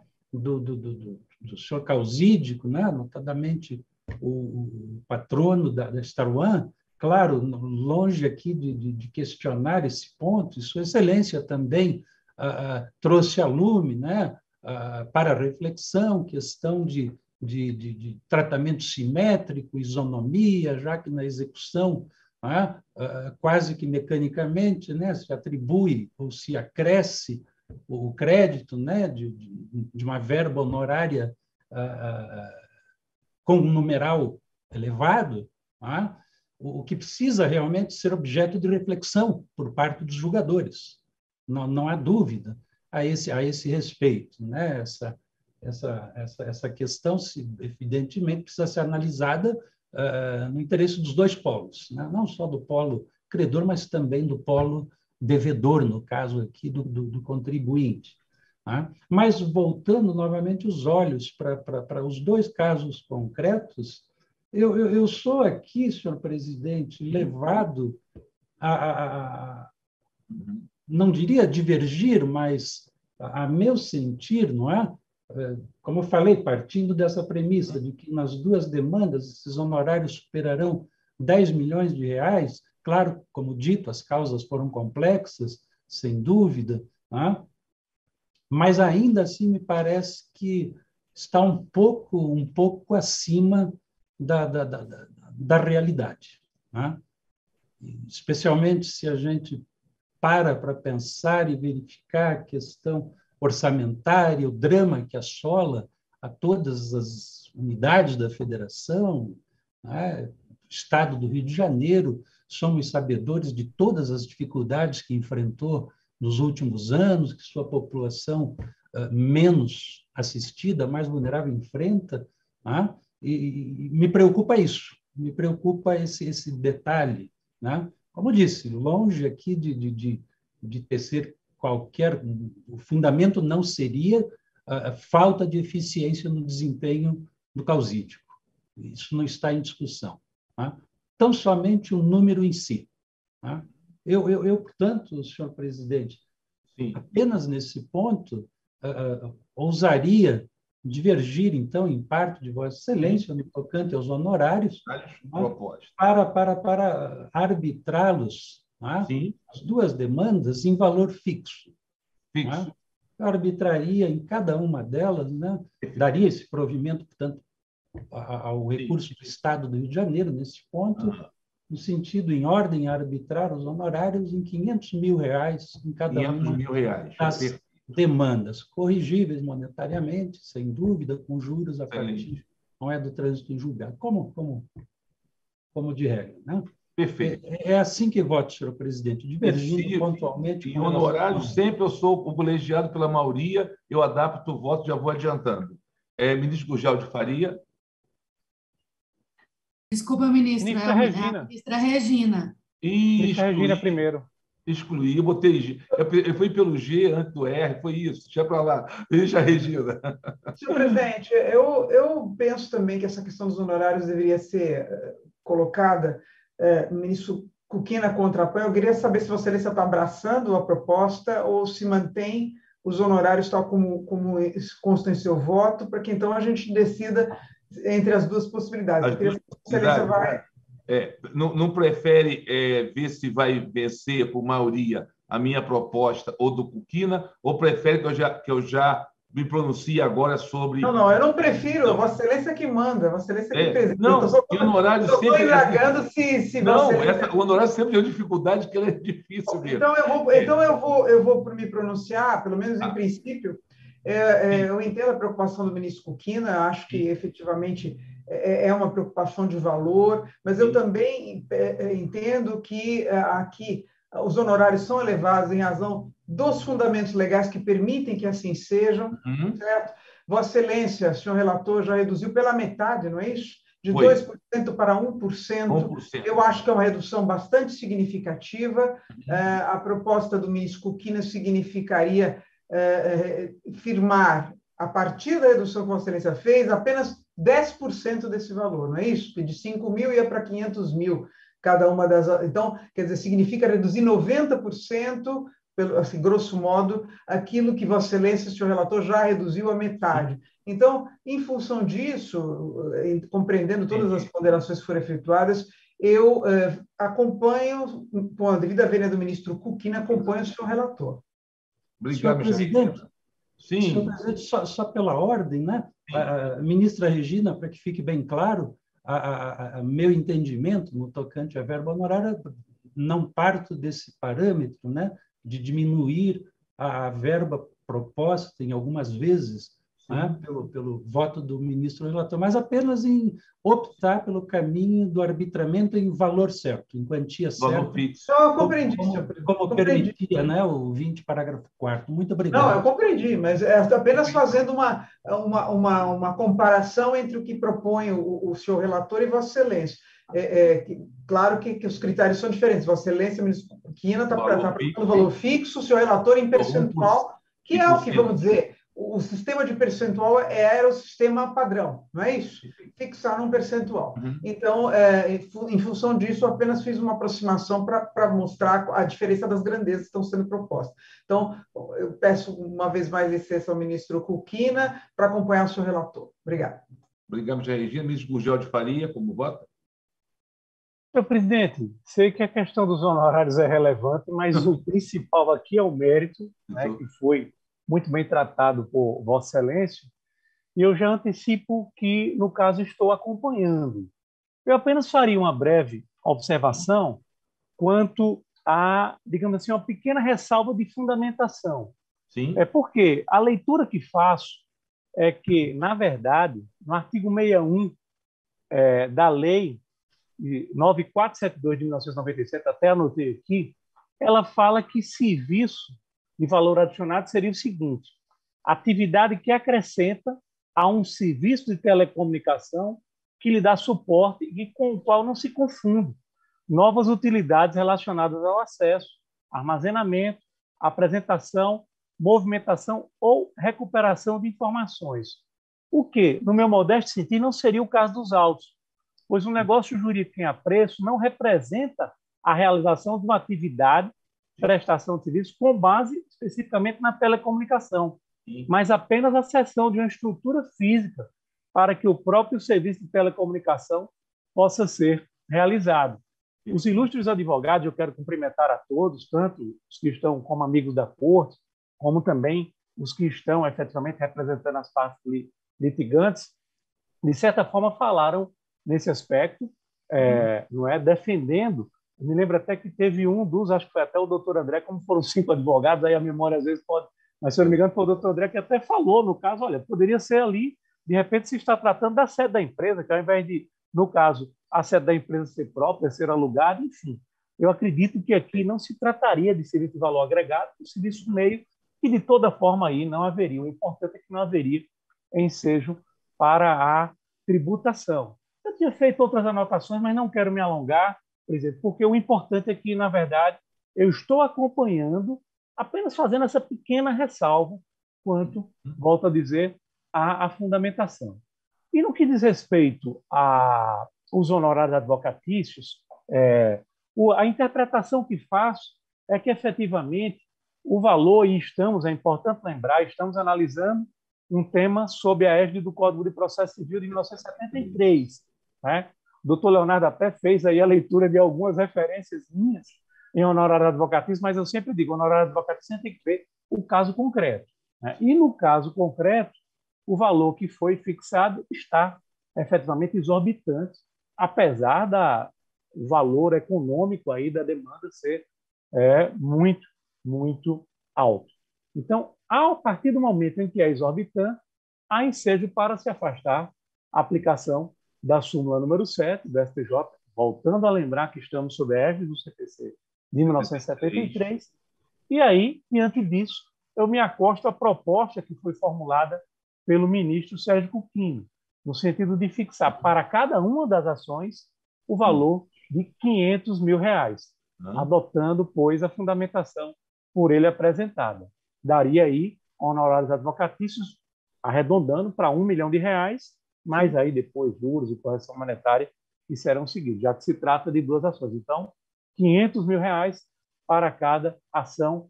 Em um brevíssimo resumo, senhor presidente, é Perfeito. esse o meu voto. Agradeço. Eu agradeço a colaboração e as complementações. E o ministro Manuel Erra. Pois não, senhor presidente, cumprimento a todos e destaco que a questão tributária foi muito bem exposta e o voto de Vossa Excelência ele analisa com profundidade, demonstrando que, efetivamente, não há serviço de comunicação a ser tributado neste caso. É, o ministro Gugel também trouxe aqui a sua, sua colaboração, ministra Regina e todo ministro Cuquina e todos que efetivamente acresceram argumentos que bem demonstram o acerto do voto de Vossa Excelência. É, realmente, a questão dos honorários ela é uma questão que uhum. Nos deixa sempre preocupados, é uma questão né, que é realmente não é fácil de ser solucionada. Né? É, eu entendo que, à primeira vista, o valor realmente é, é elevado, sem dúvida, o percentual de 1% é ínfimo, mas, quando se considera a base de cálculo, ele se revela um tanto destoante do que normalmente acontece nas ações judiciais. É, o ministro Fukina propõe esse valor de 500 mil.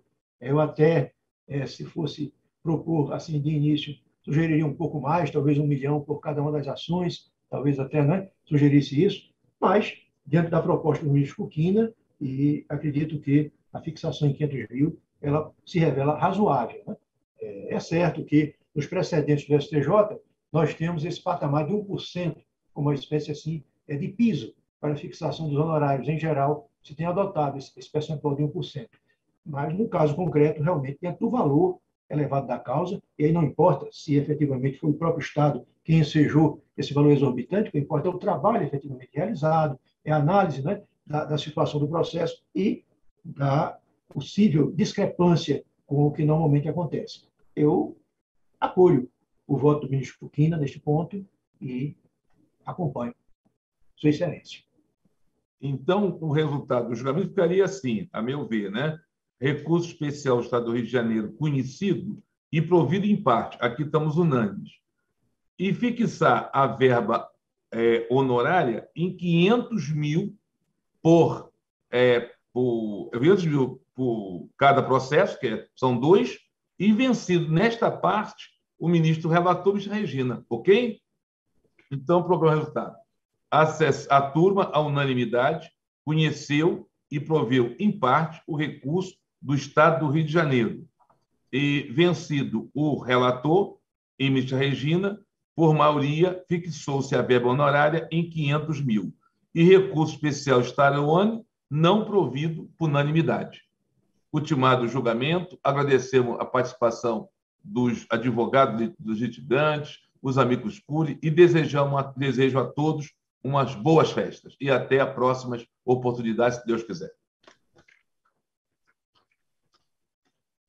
Agora vamos chamar o advogado doutor Rodrigo Souza. Doutor Rodrigo Souza. E o doutor Flávio também, ministro. Ah, são dois, né? Ah, doutor Flávio Jaime Moraes Jardim. Umas boas. O Flávio já está ali. Doutor Flávio Moraes já está ali pelo recorrido, Distrito Federal. Falta o doutor Rodrigo Souza entrar. Está ali, doutor Rodrigo. Doutor Rodrigo e doutor Flávio, boa tarde. Estão é, me ouvindo bem? Boa tarde, excelência. Falta só o doutor Flávio é, acionar o seu microfone que está mudo. Ok, ah, agora? Obrigado. Perfeito. Então, apregamos o processo. Relator Sérgio Coquina, RMS 45275, e já indago os advogados se dispensam do relatório. Dispensa? Então, ação oral a começar. Doutor Rodrigo, pelo prazo regimental de 15 minutos. Excelências, senhor ministro presidente, cumprimento também os demais senhores e senhora ministra, frente dessa turma. Prometo ser breve da questão. Apenas para contextualizar, é, se trata de uma decisão do Tribunal de Contas do DF, confirmada pelo, pelo TJDFT, que condenou o recorrente após quase 12 anos ao pagamento de uma verba indenizatória recebida, recebida, na verdade, ao realizar uma missão em El Salvador, em 2001. É, foi condenado aí no importe de 309 mil reais, acrescido de uma multa de 15 mil reais, e ainda determinou que os descontos ocorressem sobre o seu soldo.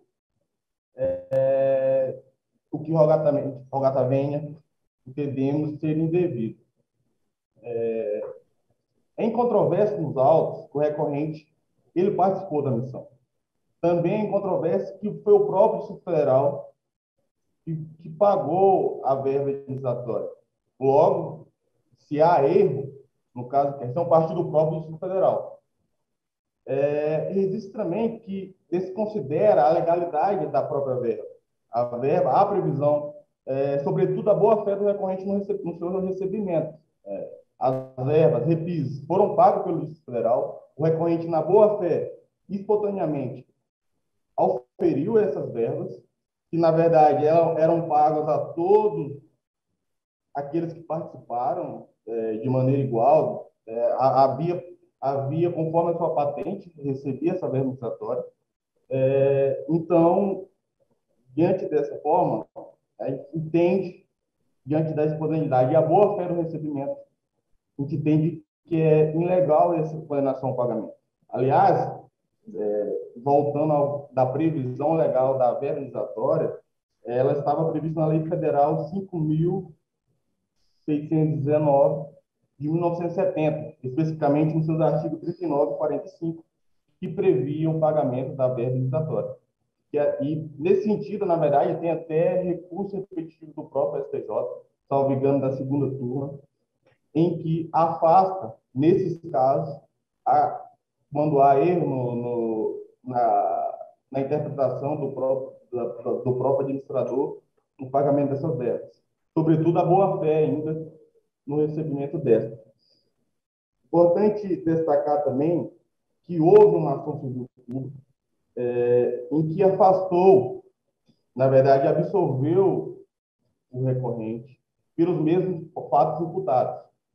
E o que há um oferimento a coisa julgada nos termos do CPC.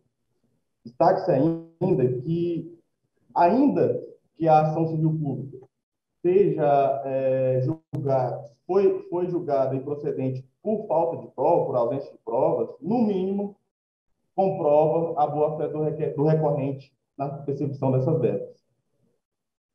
Existe também que, por fim, na verdade, não menos importante, a determinação do desconto sobre o soldo do recorrente revela-se, entendemos que revela-se legal.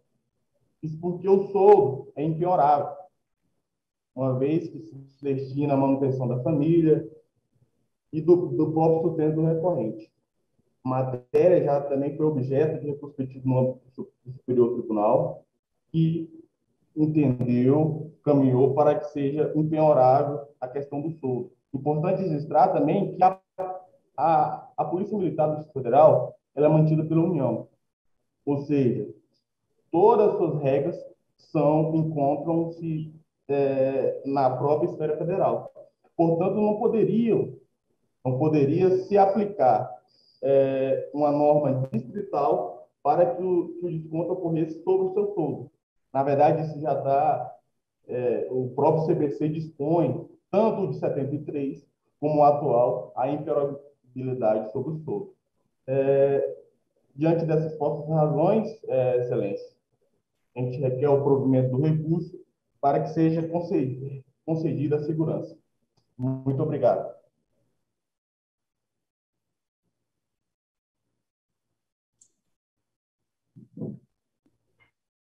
Ministro, o microfone está... Doutor Flávio, pelo prazo regimental de 15 minutos. Excelentíssimo senhor ministro-presidente, ministro Benedito, muito obrigado. Senhora ministra Regina Helena, aos demais membros do colegiado, ao nobre advogado que me antecedeu aqui na tribuna, cumprimento a todos.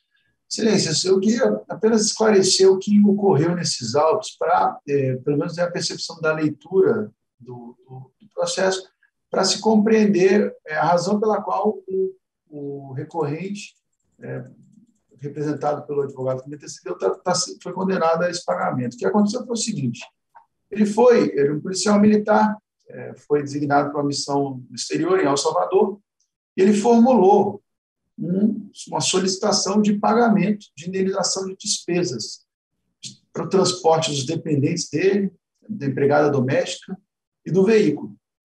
O que aconteceu? Houve o ajuizamento de uma ação civil pública de improbidade administrativa questionando se esses valores poderiam, em tese, ter sido pagos. Essa ação, razão de ausência de provas e até mesmo, se não me engano, é, questões de direito, foi entendido, olha, despesas dessa natureza podem, em tese, ser pagas. Mas o que ocorreu em seguida?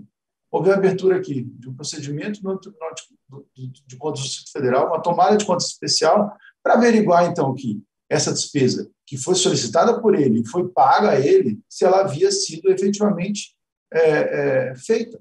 Ou seja, se ele havia despendido os valores que ele recebeu do Distrito Federal a esse título.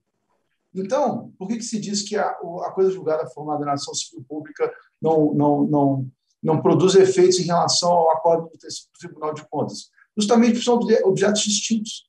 A lei da ação civil pública ter sido extinta por, por, por de que é uma ação que tem natureza punitiva, ou seja, visava ali apurar se alguém havia autorizado de forma indevida, mediante dolo, pagamento de despesas inadequadas a toda uma corporação, é, e isso foi julgado improcedente, ou seja, não se aplicou penalidades aos, aos, aos gestores que autorizaram esse pagamento é, é, em relação a essas despesas. Mas isso é muito diferente do Tribunal de Contas, está aqui avaliando a legalidade do pagamento e depois da correspondência é, é, prova da despesa efetuada.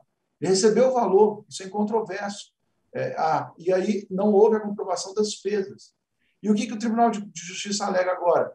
neste mandado de segurança, não houve prova pré-constituída de que essas despesas foram realizadas. Esta é a razão pela qual a segurança foi indeferida. É, então, com a devida vênia, é, não se trata aqui do deslocamento para a discussão de, em relação à boa-fé no recebimento de valores da administração. A gente sabe que essa jurisprudência existe, mas ela é muito distinta pelo seguinte, pois neste caso, muitas vezes, o servidor é, recebe um valor que ele sequer conhece, ele não solicitou. Aqui houve um requerimento. É o item 3, inclusive, da emenda, a solicitação de administração de pagamento de indenização de despesas com o transporte de dependentes, empregada doméstica e veículo, em razão de viagem empreendida por militar à emissão oficial do, do, em El Salvador. Houve solicitação, não houve pagamento voluntário de despesa pela administração pública. As situações são distintas, tá? que a jurisprudência geralmente é, é, entende que há a presença da boa-fé.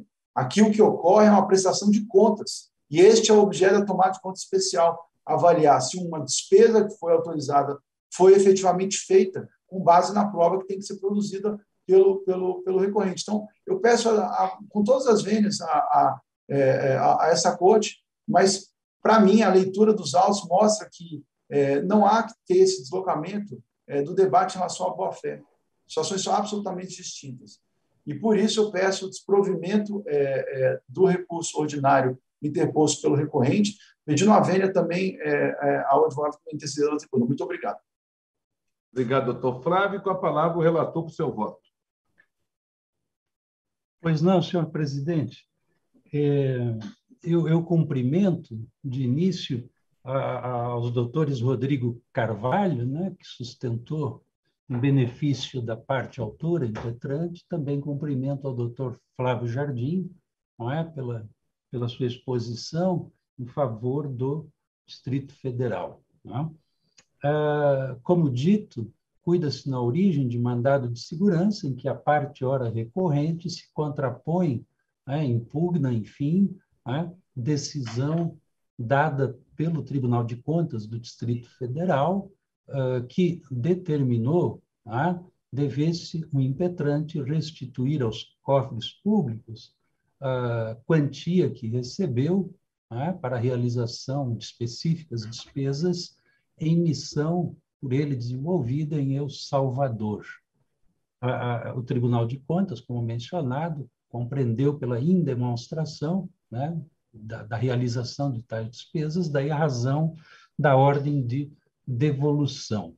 Sobrevém, portanto, a segurança, que acabou sendo denegada pelo, pela Corte Distrital, né, competente originária para o caso, e, e no, no, no, recurso ordinário, o, o impetrante né, reitera seus argumentos, né, no sentido de que teria recebido de boa fé, também de que, ah, tendo por foco o mesmo episódio fático, uma ação civil pública teria sido ah, rejeitada.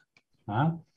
Enfim, eh, são os argumentos centrais né, que, que, que movem a insurgência recursal. Uh, no exame que fiz, no entanto, da causa, né, eh, estou aqui me inclinando, senhor presidente, eminentes pares, estou me inclinando no sentido de reconhecer, diversamente do que fez o, o ilustrado Tribunal de Origem, reconhecer aqui ah, o óbice da decadência para a impetração. Esse óbice, é bem verdade, foi rejeitado pelo Tribunal Distrital ah, ao argumento de que, como estaria ocorrendo o recolhimento de valores mês a mês, ah, essa prestação, esse cumprimento em forma continuada, ah, faria abrir a possibilidade de que a cada recolhimento se renovasse a, a lesão ao interesse do impetrante. Ah, entretanto, ah, tenho compreensão contrária, na medida em que esse raciocínio que permeia que permeia a não decadência nos casos de atos uh, de cunho sucessivo, uh, ele, ele, ele, se pauta sempre uh, no, na premissa da omissão. da autoridade coatora. É uma condição de omissão que permite que, que a ilegalidade acabe se replicando mês a mês, por exemplo. Né? Ah, no caso em mesa, entretanto, né, na verdade, aqui, o que se está, no fundo, a combater é um ato de natureza comissiva. E esse ato representado exatamente pela decisão proferida pelo Tribunal de Contas do Distrito Federal, um ato único, né, de efeito instantâneo, portanto, repito, um ato de cunho comissivo, um ato que expressou né, uma glosa, uma reprovação da Corte de Contas frente à não comprovação né, da, da aplicação adequada de valores, os valores especificados no âmbito da tomada de contas especial levada a cabo pelo TC do Distrito Federal. Então, eu, eu estou a reconhecer a existência, sim, de um ato comissivo, né, que, portanto, portanto atrairia né, a, a, contagem do prazo decadencial para a impetração da segurança, atrairia o, o marco inicial dessa contagem para o exato momento em que o, a parte impetrante tomou ciência do próprio ato. Né? Como eu, eu explicito na, na, já na própria emenda né, que, que, que disponibilizei a Vossas Excelências, eu explicito que a decisão dada pelo Tribunal de Contas é uma decisão proferida em 2011, da qual o, o impetrante foi cientificado em agosto, no mês de agosto. No entanto, a presente impetração ah, foi ajuizada, foi deduzida somente em março de 2013, portanto, dia muito, quando dia muito escoado, ah, o lapso dos 120 dias a, que se refere à lei de mandado de segurança. Então, eu, eu, eu nesse, nesse viés, né, eu estou aqui compreendendo, né, compreendendo é, nesse sentido, de que se está, em verdade, não diante de uma situação de trato sucessivo. É verdade, repito, que o recorrente está, está tendo de, de adimplir o seu débito, a restituição de valores mês a mês. Mas o ato efetivamente gerador dessa obrigação foi um ato comissivo de natureza concreta que se esgotou nele mesmo. Né? A, a, a, enfim, por essas razões é que estou aqui né, na mão contrária do que, do que compreendeu a corte de origem ao afastar a decadência, eu estou aqui uh, encaminhando o voto no sentido de reconhecer a existência, a presença da decadência em ordem a extinguir, portanto, sem resolução de mérito, né, a presente ação mandamental. É, é como voto, senhor presidente. Sim, relator. Então, o voto foi disponibilizado à divergência? Eu só acrescento que eu tinha é, visto os, a jurisprudência anterior, mas a extinção desse ato comissivo concreto é que distingue da jurisprudência que trata dessa prestação pretérito acessível.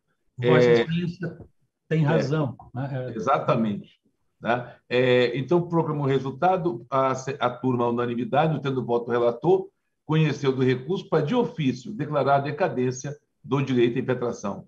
Obrigado, doutor Rodrigo, doutor, doutor é, Flávio Jardim. Até a próxima oportunidade. Boas festas. Dona Bárbara, temos agora mais. Senhor presidente, posso. posso claro. Deve. Ministro, ministro Benedito, eu estou sendo chamada lá na segunda turma para. Exato, acabou. É, para votar um desempate, porque eles já encerraram a sessão, já encerraram a pauta, já Imagino. leram até Não, não, por favor. Eu perguntaria, é como nós teremos sustentações orais no próximo item, que é meu, não é? Da minha relatoria. É, isso. Seria uhum. possível fazer uma, se não quiser fazer um intervalo, uma brevíssima suspensão para os minutos? Então, faremos, doutora, vamos fazer a reciprocidade. Para amanhã, nós pedimos lá também ajudar a gente. então, sugerimos, então, doutor Felipe, que chegou agora, doutor Cândido Damarco, Vamos fazer um breve intervalo para atender a jurisdição por força regimental. Então, suspensa a sessão por 15 minutos. Obrigada, senhor Ou mais. Não, obrigado, obrigado. Até já.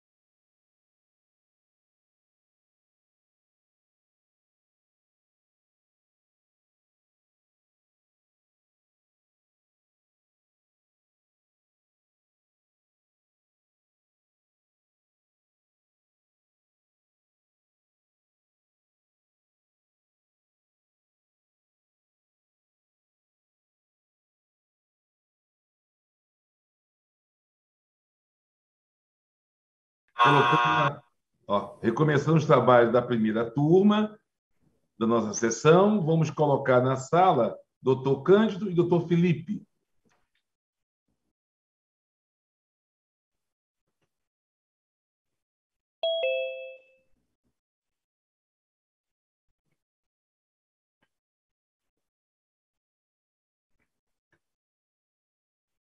Doutor Felipe já foi.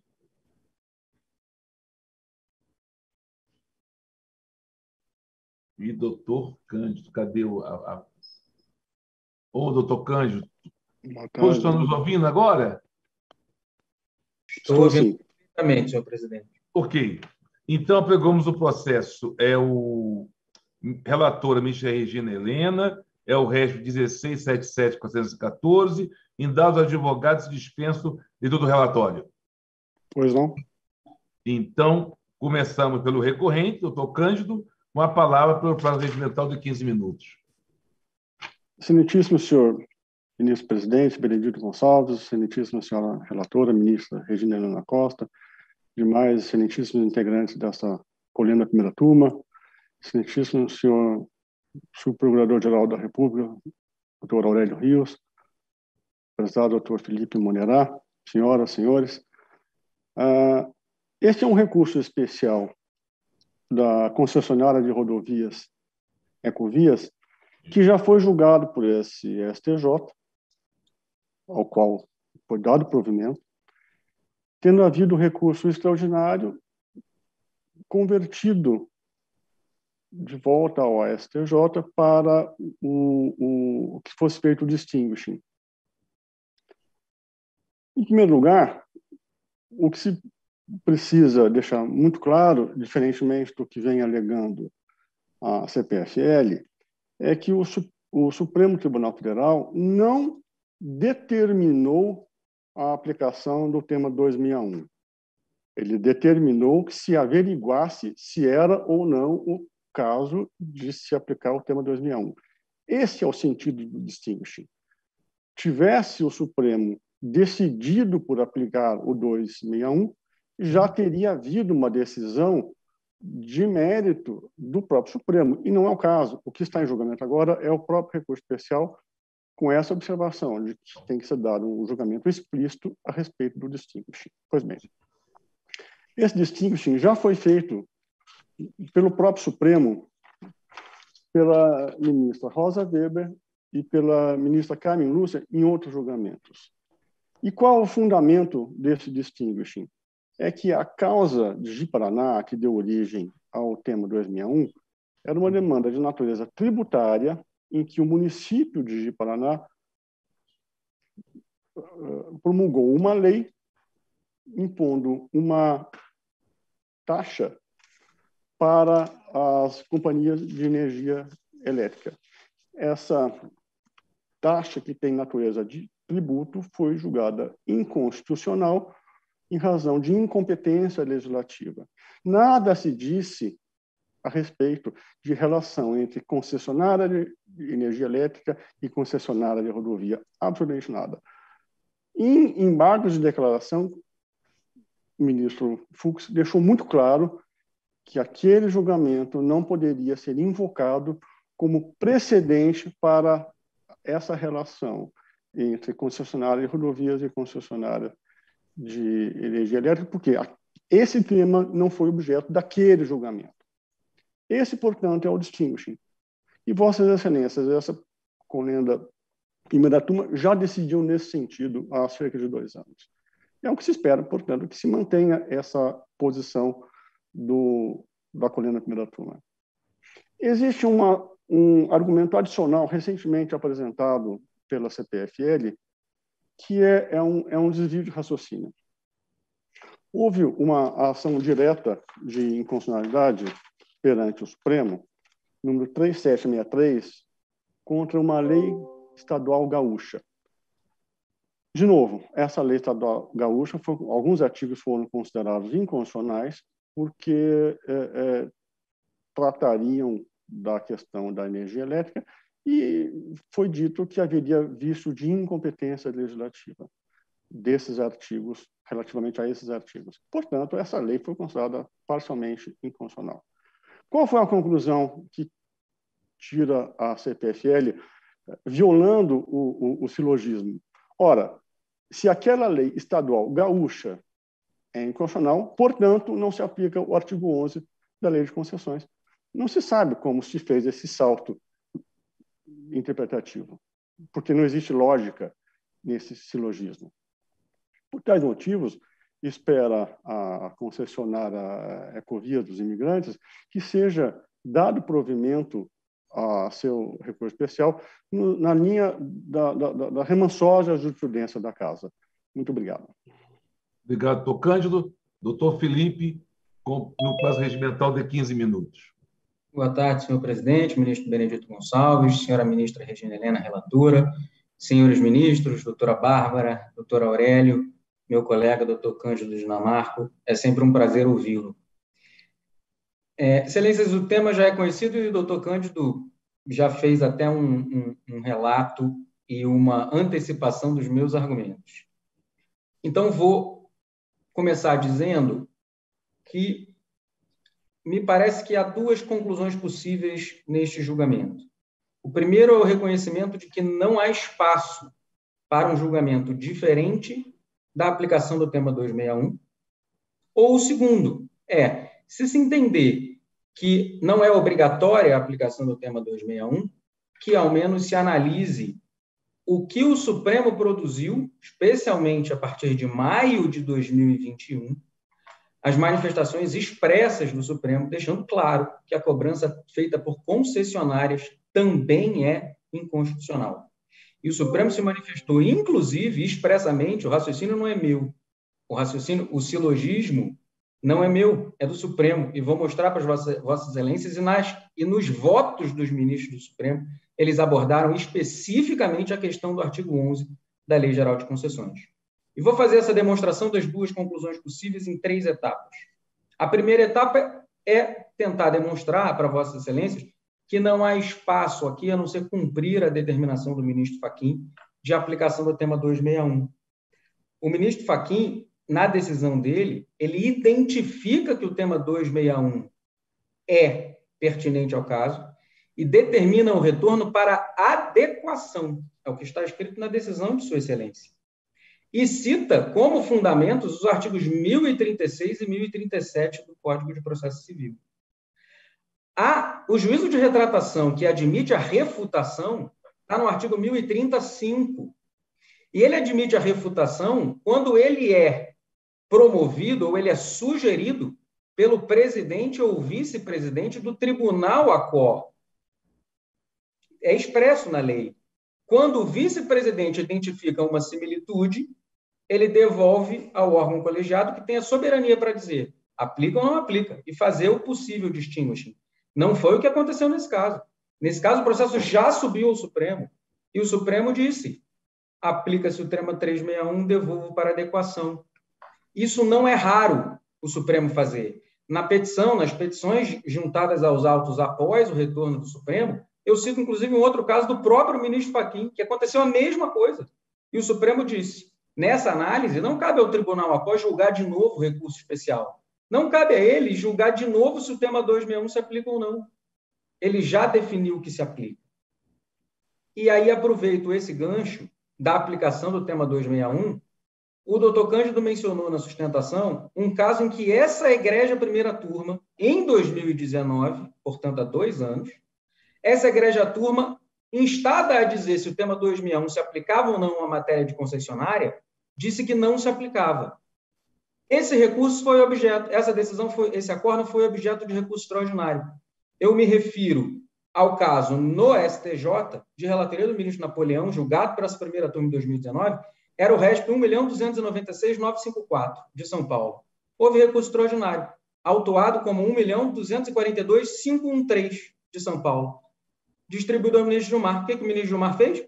Provimento ao recurso extraordinário, decisão de fevereiro de 2021, provimento ao recurso extraordinário para aplicar o tema 2001, para dizer que a concessionária também não pode cobrar, que a cobrança é inconstitucional. Então, o último juízo de retratação feito por essa egrégia turma, ou refutado por essa egrégia turma, foi reformado no Supremo Tribunal Federal. Passo ao meu segundo ponto da sustentação, e aí entro na, na questão das ADIs. As ADIs foram duas, na verdade três. Uma terminou ontem, dia 13 de dezembro, na mesma linha, inconstitucionalidade da cobrança por uso de faixa de domínio. As duas ADIs a que me referia inicialmente são a 3763 e a 6482. Nas duas, basta ler os votos condutores, e nessa de ontem também. Os votos condutores dizem: já julgamos esse tema no 261 e, de, e fazem uma interpretação autêntica do tema 261 e dizem que ali o Supremo proibiu a cobrança de taxa e de preço. As ADIs só tratavam de preço, inclusive. E o Supremo disse que não poderia cobrar. Então, ele trata de taxa e de preço, e é uma questão de interpretação autêntica do Supremo. Os dois acordos foram publicados em, dois, em maio de 2021, depois do último julgamento colegiado da primeira turma sobre esse tema. E por que, que o Supremo declarou inconstitucional? Não foi vício de iniciativa. O Supremo disse que a criação de custos excepcionais às concessionárias de energia elétrica desequilibram a relação de concessão com ela própria, do poder concedente União com as suas concessionárias de energia elétrica. E que, portanto, a lei que estadual que institui essa cobrança é inconstitucional. Bom, se a lei estadual não pode instituir a cobrança, como é que um edital ou um contrato assinados pelo mesmo ente federativo poderiam autorizar a cobrança. Como é que o Estado, que ele mesmo não pode cobrar, pode delegar uma autorização de cobrança por edital e contrato? Então, se a lei não pode, edital e contrato também não pode. E aí entro no tema central do artigo 11. Os ministros do Supremo, essa questão das, do, da cobrança das concessionárias foi suscitada nas duas ADIs. E os ministros se manifestaram sobre ela expressamente. Nas petições e nos memoriais que enviei aos gabinetes de Vossas Excelências, destaquei, inclusive, os trechos específicos do voto do ministro Fux na ADI 3763. A norma supratranscrita, que é a norma que proíbe a cobrança de de energia elétrica, a norma afasta a incidência de disposições legislativas posteriores o ministro, o ministro Fux cita artigo 103 do Código Civil e 11 da Lei das Concessões. Porque lei especial prevalece sobre lei geral. Foi, foi apreciado expressamente pelo Supremo. Na DI 6482 é ainda mais interessante, porque na 6482 o objeto da discussão não era uma lei estadual, era a lei federal de telecomunicações, que também proíbe a cobrança. E aí o ministro Gilmar diz assim: olha, tem duas leis federais, o artigo 11 e a, o artigo 12 da Lei Geral da Lei Geral de Antenas. E ele diz: aqui lei especial prevalece sobre lei geral. Portanto, a cobrança é indevida. E ele diz mais: só se poderia permitir a cobrança com base no artigo 11 da Lei Geral de Concessões se a ela fosse dado um caráter supralegal, palavras do ministro Gilmar, e naturalmente ela não tem caráter supralegal. Então, lei especial prevalece sobre lei geral. Isso foi enfrentado pelo Supremo Tribunal Federal. O silogismo equivocado ao que o doutor Cândido se, se, se, referia pode até, não é meu, pode até se atribuir isso à decisão do Supremo, mas não a mim. E seja como for, a decisão do Supremo é a última palavra na matéria. E, portanto, a cobrança seja pelo poder público, seja por concessionária, é inconstitucional, especialmente porque aqui é feita por um Estado membro. Então, se o Estado membro não pode cobrar, não pode delegar a um concessionário seu a cobrança. A cobrança, portanto, é inconstitucional na linha das mais recentes manifestações do Supremo. E se analisar sob o prisma da legislação infraconstitucional, idem. A lei expressa específica sobre o setor de energia elétrica, que diz não pode cobrar. Estados e municípios não podem cobrar por uso de faixa de domínio. É isso que a lei diz. E há uma lei geral de telecomunicações, que é a lei geral de concessões, que autoriza a cobrança de receitas alternativas. Não fala de uso de faixas de domínio. E vale para todas as concessões. Portanto, a lei que proíbe, ela é duplamente ela tem duplo caráter especial. Primeiro, que ela trata de energia elétrica, e segundo, que ela trata de cobrança por utilização de faixa de domínio. Então, à luz da legislação infraconstitucional, prevalece a lei especial. E, por último, o artigo 11 da Lei Geral de Concessões é uma questão de modicidade tarifária. A lei permitiria, se a gente pegar e fazer uma, um, um, colocar na balança, permitir uma modicidade tarifária de um pedágio em uma rodovia é mais importante do que a modicidade tarifária na energia elétrica, que vale para todos, os usuários de energia elétrica ou os, os consumidores de energia elétrica somos todos nós.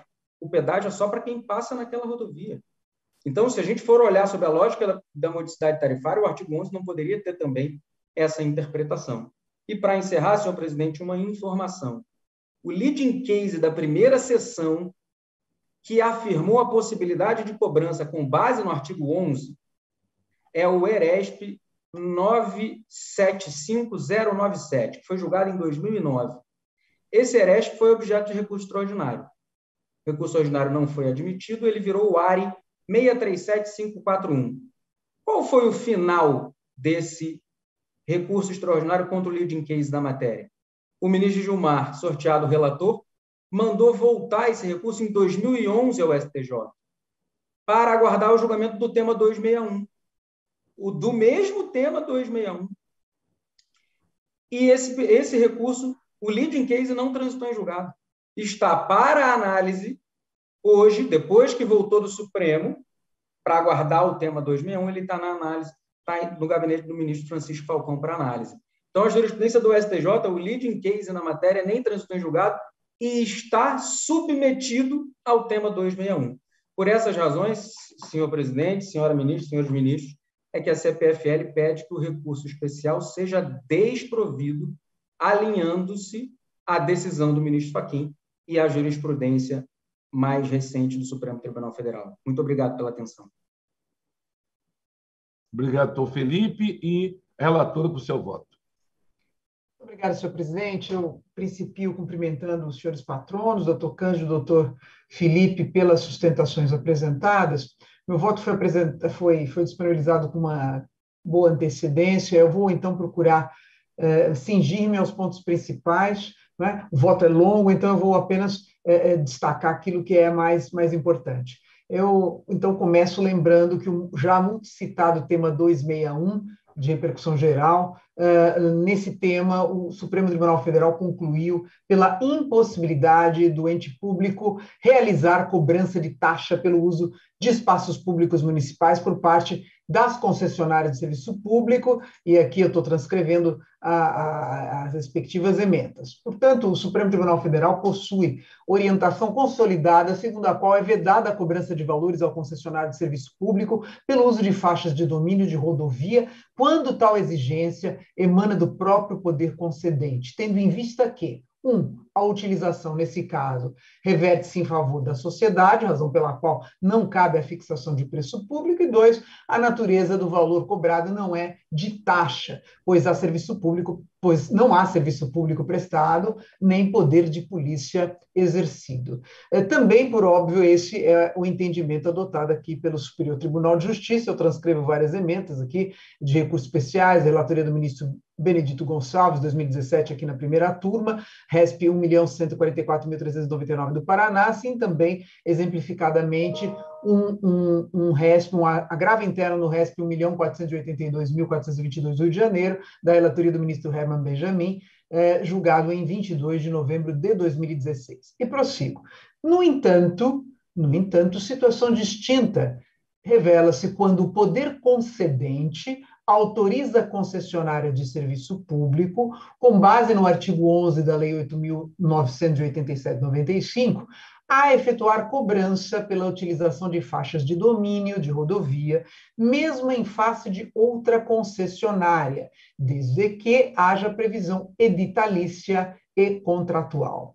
Essa obrigação, abro aspas, envolve justificativas importantes no contexto do interesse público, haja vista que a previsão de outras fontes, receitas alternativas, complementares, acessórias ou de projetos associados, em benefício do concessionário do serviço público, nos termos do já mencionado artigo 11 da Lei 8987-95, desde que devidamente previstas no edital de licitação e no respectivo contrato firmado com o poder concedente, encerra elemento a ser considerado no equilíbrio econômico-financeiro contratual e na obtenção do princípio da modicidade tarifária, fecho aspas, é, palavras do ministro Og Fernandes, que relatou o Aresp 977.205 de São Paulo, julgado em 2018.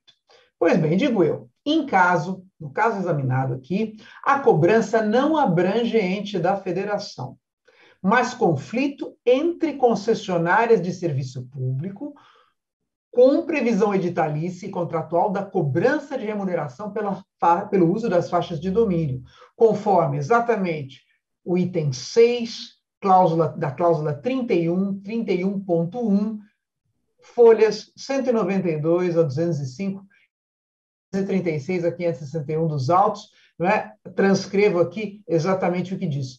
Esse item, cobrança pelo uso da faixa de domínio público, inclusive por outras concessionárias de serviço público, permitida pela legislação em vigor. Fecho aspas. E digo eu, assim, o entendimento fixado no recurso extraordinário número 581.497 de Rondônia, que é o tema 261, segundo o qual os entes da federação não podem cobrar retribuição pecuniária pela utilização de vias públicas, inclusive solo, subsolo e espaço aéreo, para a instalação de equipamentos destinados à prestação de serviço público, não impede que as concessionárias de rodovias realizem tal exigência pela utilização das faixas de domínio, nos termos do artigo 11 da Lei 89.8795, desde que tal exação seja autorizada pelo poder concedente e esteja expressamente prevista no contrato de concessão, porquanto não houve discussão sobre essa hipótese no tema 261. Esse distinguish, por seu turno, já foi realizado aqui no STJ no julgamento dos embargos de divergência, no recurso especial número 985.695 do Rio de Janeiro, foram apreciados pela primeira sessão em 2014, não é? em 2014, recurso da relatoria do ministro Humberto Martins. Então, esse distingue-se foi feito exatamente aqui nessa ocasião. Então, e aqui se diz exatamente uh, o seguinte: vou destacar aqui o trecho alguns trechos da emenda desse ERESP. Né? É, é, no acordo, o paradigma está firmado com o artigo 11 da Lei 895-95, autoriza a cobrança de uso de faixas de domínio, mesmo por outra concessionária de serviços públicos, desde que haja previsão no contrato de concessão da rodovia em atenção à previsão legal. Deve prevalecer o entendimento firmado pela primeira sessão, que se amolda com perfeição ao caso. Então, e aí, evidentemente, se manteve esse entendimento. E digo eu, tal orientação vem sendo replicada em inúmeras decisões desta Corte, autorizando-se o poder concedente a prever, no edital de licitação em favor da concessionária, a possibilidade de outras fontes provenientes de receitas alternativas, complementares, acessórias ou de projetos associados com ou sem exclusividade, para favorecer a modicidade das tarifas na forma do, por vezes, mencionado aqui, artigo 11 da Lei 8987 de 95. Nesse sentido, eu estou transcrevendo também emendas de vários julgados. Então, essa, esse ERESP, que consolidou essa orientação em 2014, tem sido repetidamente aplicado em outras decisões. Por exemplo, no agravo interno no Aresp 1.443.712 de São Paulo, relatoria da ministra Assuzete Magalhães, na segunda turma, julgado em setembro de 2020. Temos também aqui eh, colacionado um recurso da minha relatoria, grave interno, no recurso especial 1.841.363 de São Paulo, julgado em março de 2020, eh, um outro do ministro Francisco Falcão, no Aresp 1.171.948 de São Paulo, julgado em agosto de 2019, e mais um aqui da primeira turma da relatoria do ministro Gurgel de Faria, agravo interno no Aresp 1 milhão 79.824 São Paulo, julgado em fevereiro de 2018. E prossigo. Ademais, em recente julgado de idêntica controvérsia, a primeira turma, então aqui nós julgamos, afastamos aqui o juízo, afastamos o juízo de adequação, eh, justamente foi no, no, no RESP, 1.296.954 de São Paulo, eh, relator ministro Napoleão Nunes Maia Filho, foi julgado em setembro de 2019. E prossigo.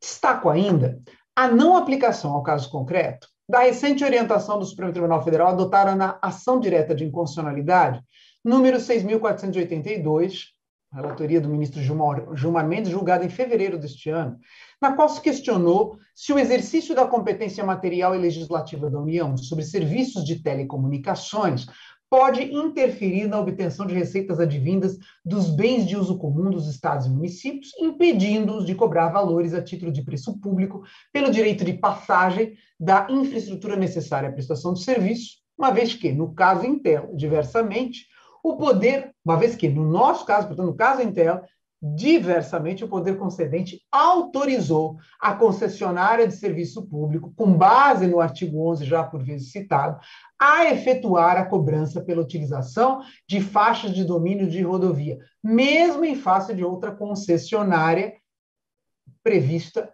essa, essa autorização prevista no edital e no respectivo contrato. Por outro lado, aponto igualmente a inaplicabilidade ao caso subjúdice do entendimento acolhido na ação direta de inconstitucionalidade número 3763, relatora ministra Carmen Lúcia, julgada em abril deste ano, na qual se debateu a constitucionalidade de uma lei estadual gaúcha à luz das regras constitucionais de competência legislativa, uma vez que se cuidava de outra hipótese de rodovia administrada por ente de direito público interno, permanecendo absolutamente rígido o fundamento legal que embasa o direito de cobrança realizado nos termos do artigo 11 da Lei 8987 de 95.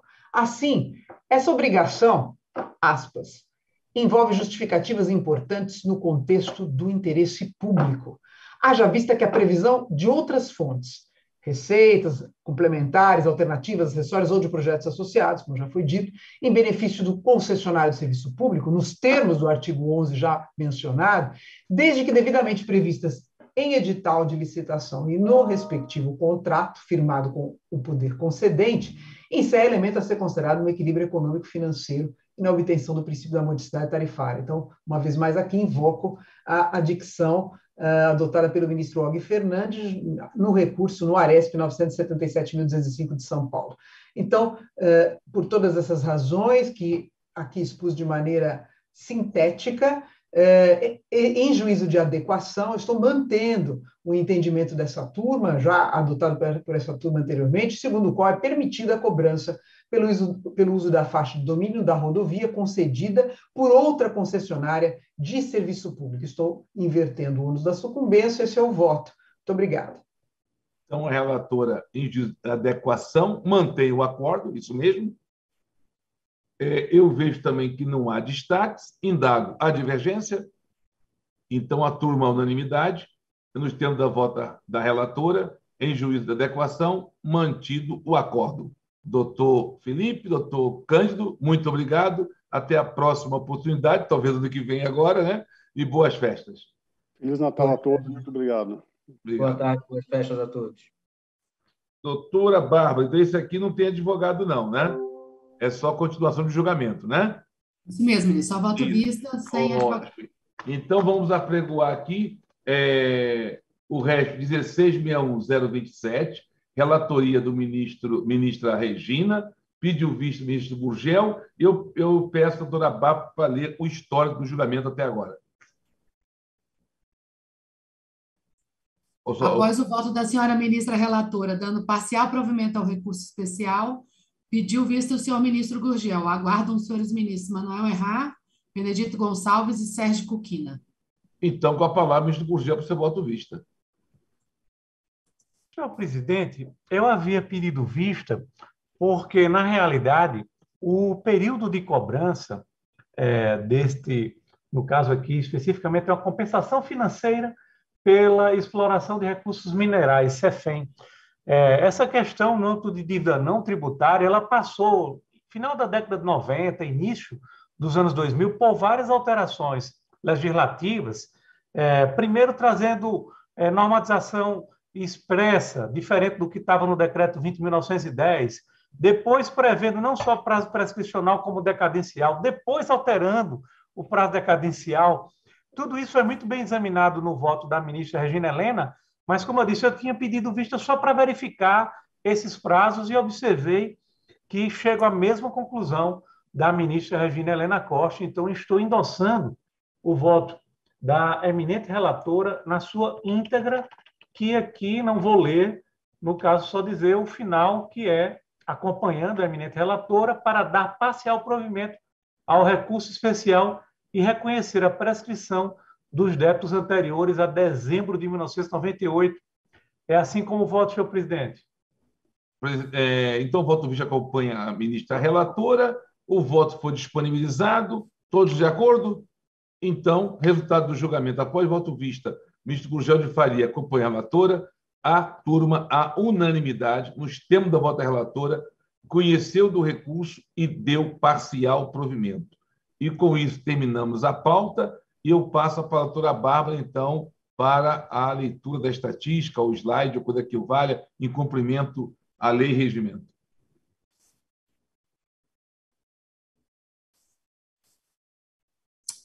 Dados estatísticos, primeira turma, período de 1 de janeiro de 2021 a 14 de dezembro de 2021.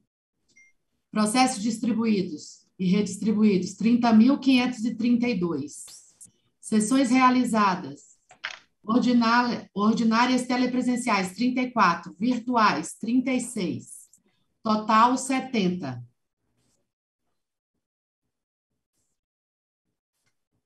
Só um minuto, ministro, que eu vou tentar compartilhar aqui a tela. Tá.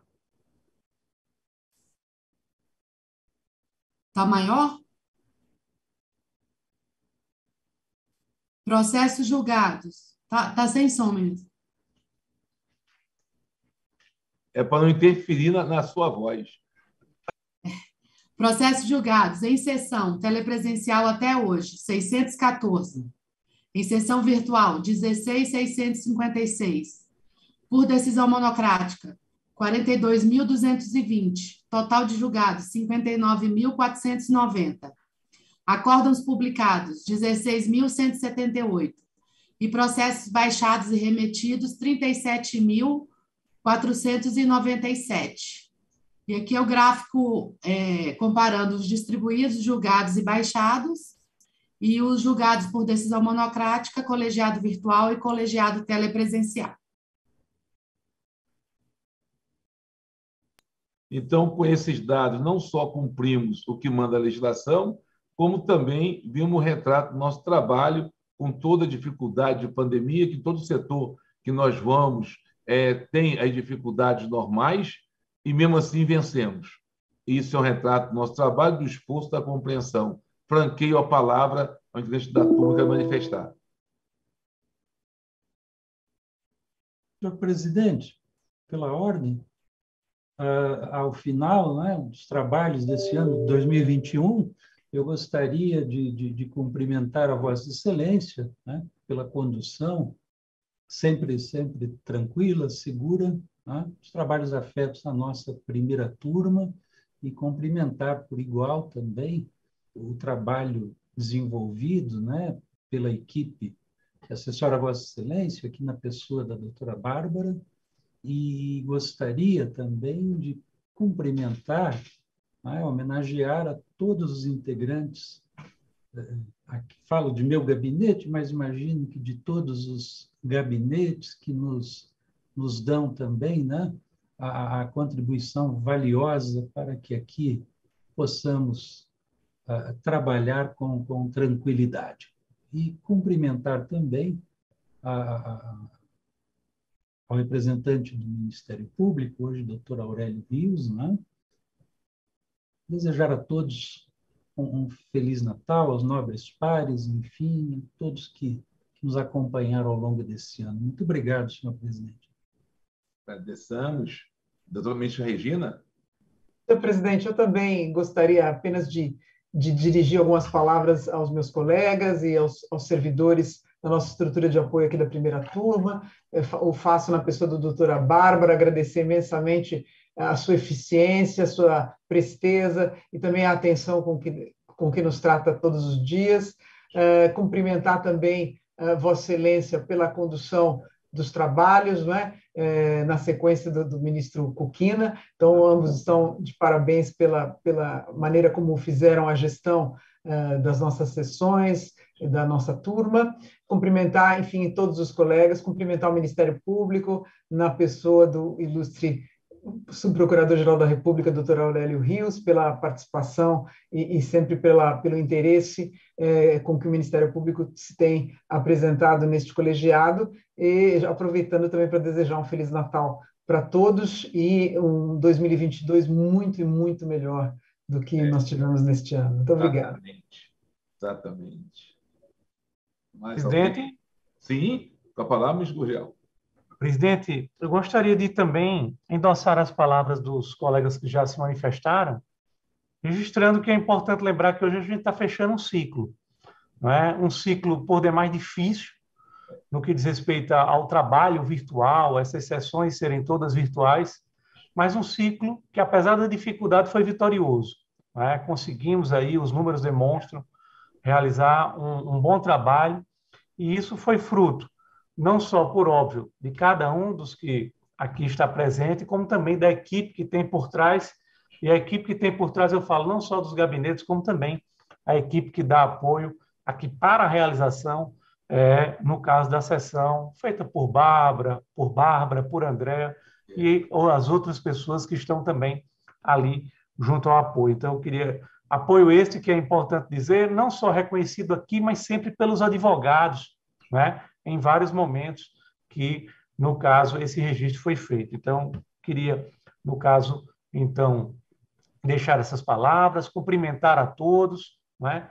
É, os colegas, o Ministério Público Federal também, hoje aqui, na presença do querido amigo, o doutor Aurélio Rios, o pessoal da informática, áudio e vídeo, enfim. A todos, eu quero desejar um Feliz Natal e um 2022 de muitas coisas boas agora, a partir de fevereiro, no nosso reencontro presencial e que possa realmente esse reencontro se perenizar, né? que a gente possa voltar a ter esses nossos encontros do dia a dia. Um abraço a todos. Senhor presidente, gostaria... ministro Manuel, com a palavra. É, eu gostaria também de cumprimentar Vossa Excelência pela excelente condução dos trabalhos, que se reflete na produtividade que foi obtida, e gostaria de particularmente agradecer a cada um dos integrantes da turma, a Vossa Excelência, a ministra Regina, ao ministro Puquina, ao ministro Rogel, a acolhida que me deram aqui desde março deste ano e dizer que realmente me senti muito à vontade, me senti aqui é, realmente é, muito acolhido, é, com a, a, tolerância com as minhas deficiências, com a, a minha falta de, de habilidade, talvez, em atuar numa corte superior, mas efetivamente, né, Vossas Excelências me ajudaram muito, o Ministério Público aqui sempre presente, também enalteço a atuação, de modo que fica o meu registro do meu muito obrigado e os votos de Feliz Natal e Ano Novo muito exitoso para todos. Muito obrigado. Também enalteço os servidores, na pessoa da doutora Bárbara, e particularmente os servidores do gabinete em que eu estou servindo, que efetivamente é, me deram condições de enfrentar as dificuldades dessa substituição. Então, muito obrigado a todos. Ministro doutor Aurélio, Ministro da República. Ministro Benedito Gonçalves, presidente, gostaria de, de né, cumprimentá-lo por mais esse ano vitorioso, também registrar né, a participação do nosso querido ministro Cuquina também durante uma parte do ano, né?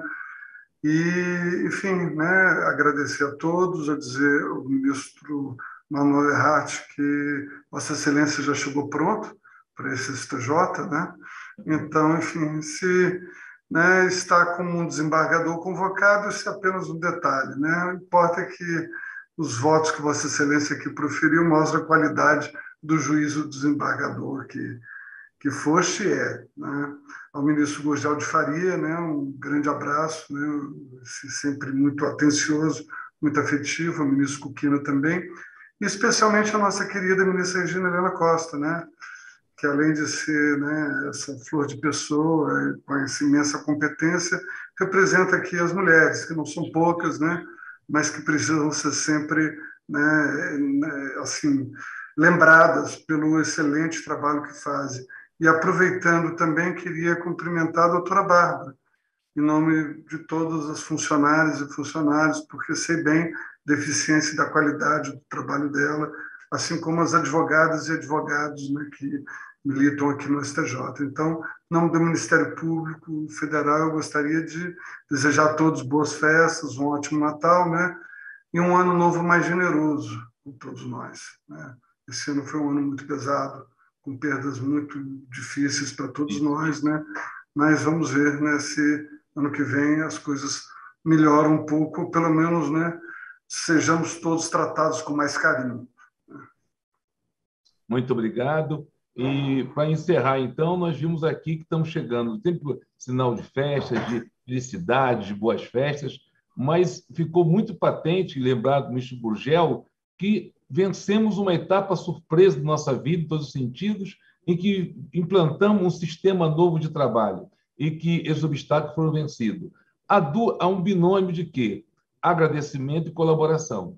Colaboração, que sempre nós estamos falando aqui, existente entre os nossos funcionários do gabinete, intercâmbio permanente com a coordenadoria da primeira turma, aqui na doutora Bárbara, e agradecimento a ela também, a todos os funcionários da informática, tem até medo de, de nomear e esquecer algum, que é também injustiça. Nós chegamos nesse trabalho graças da colaboração.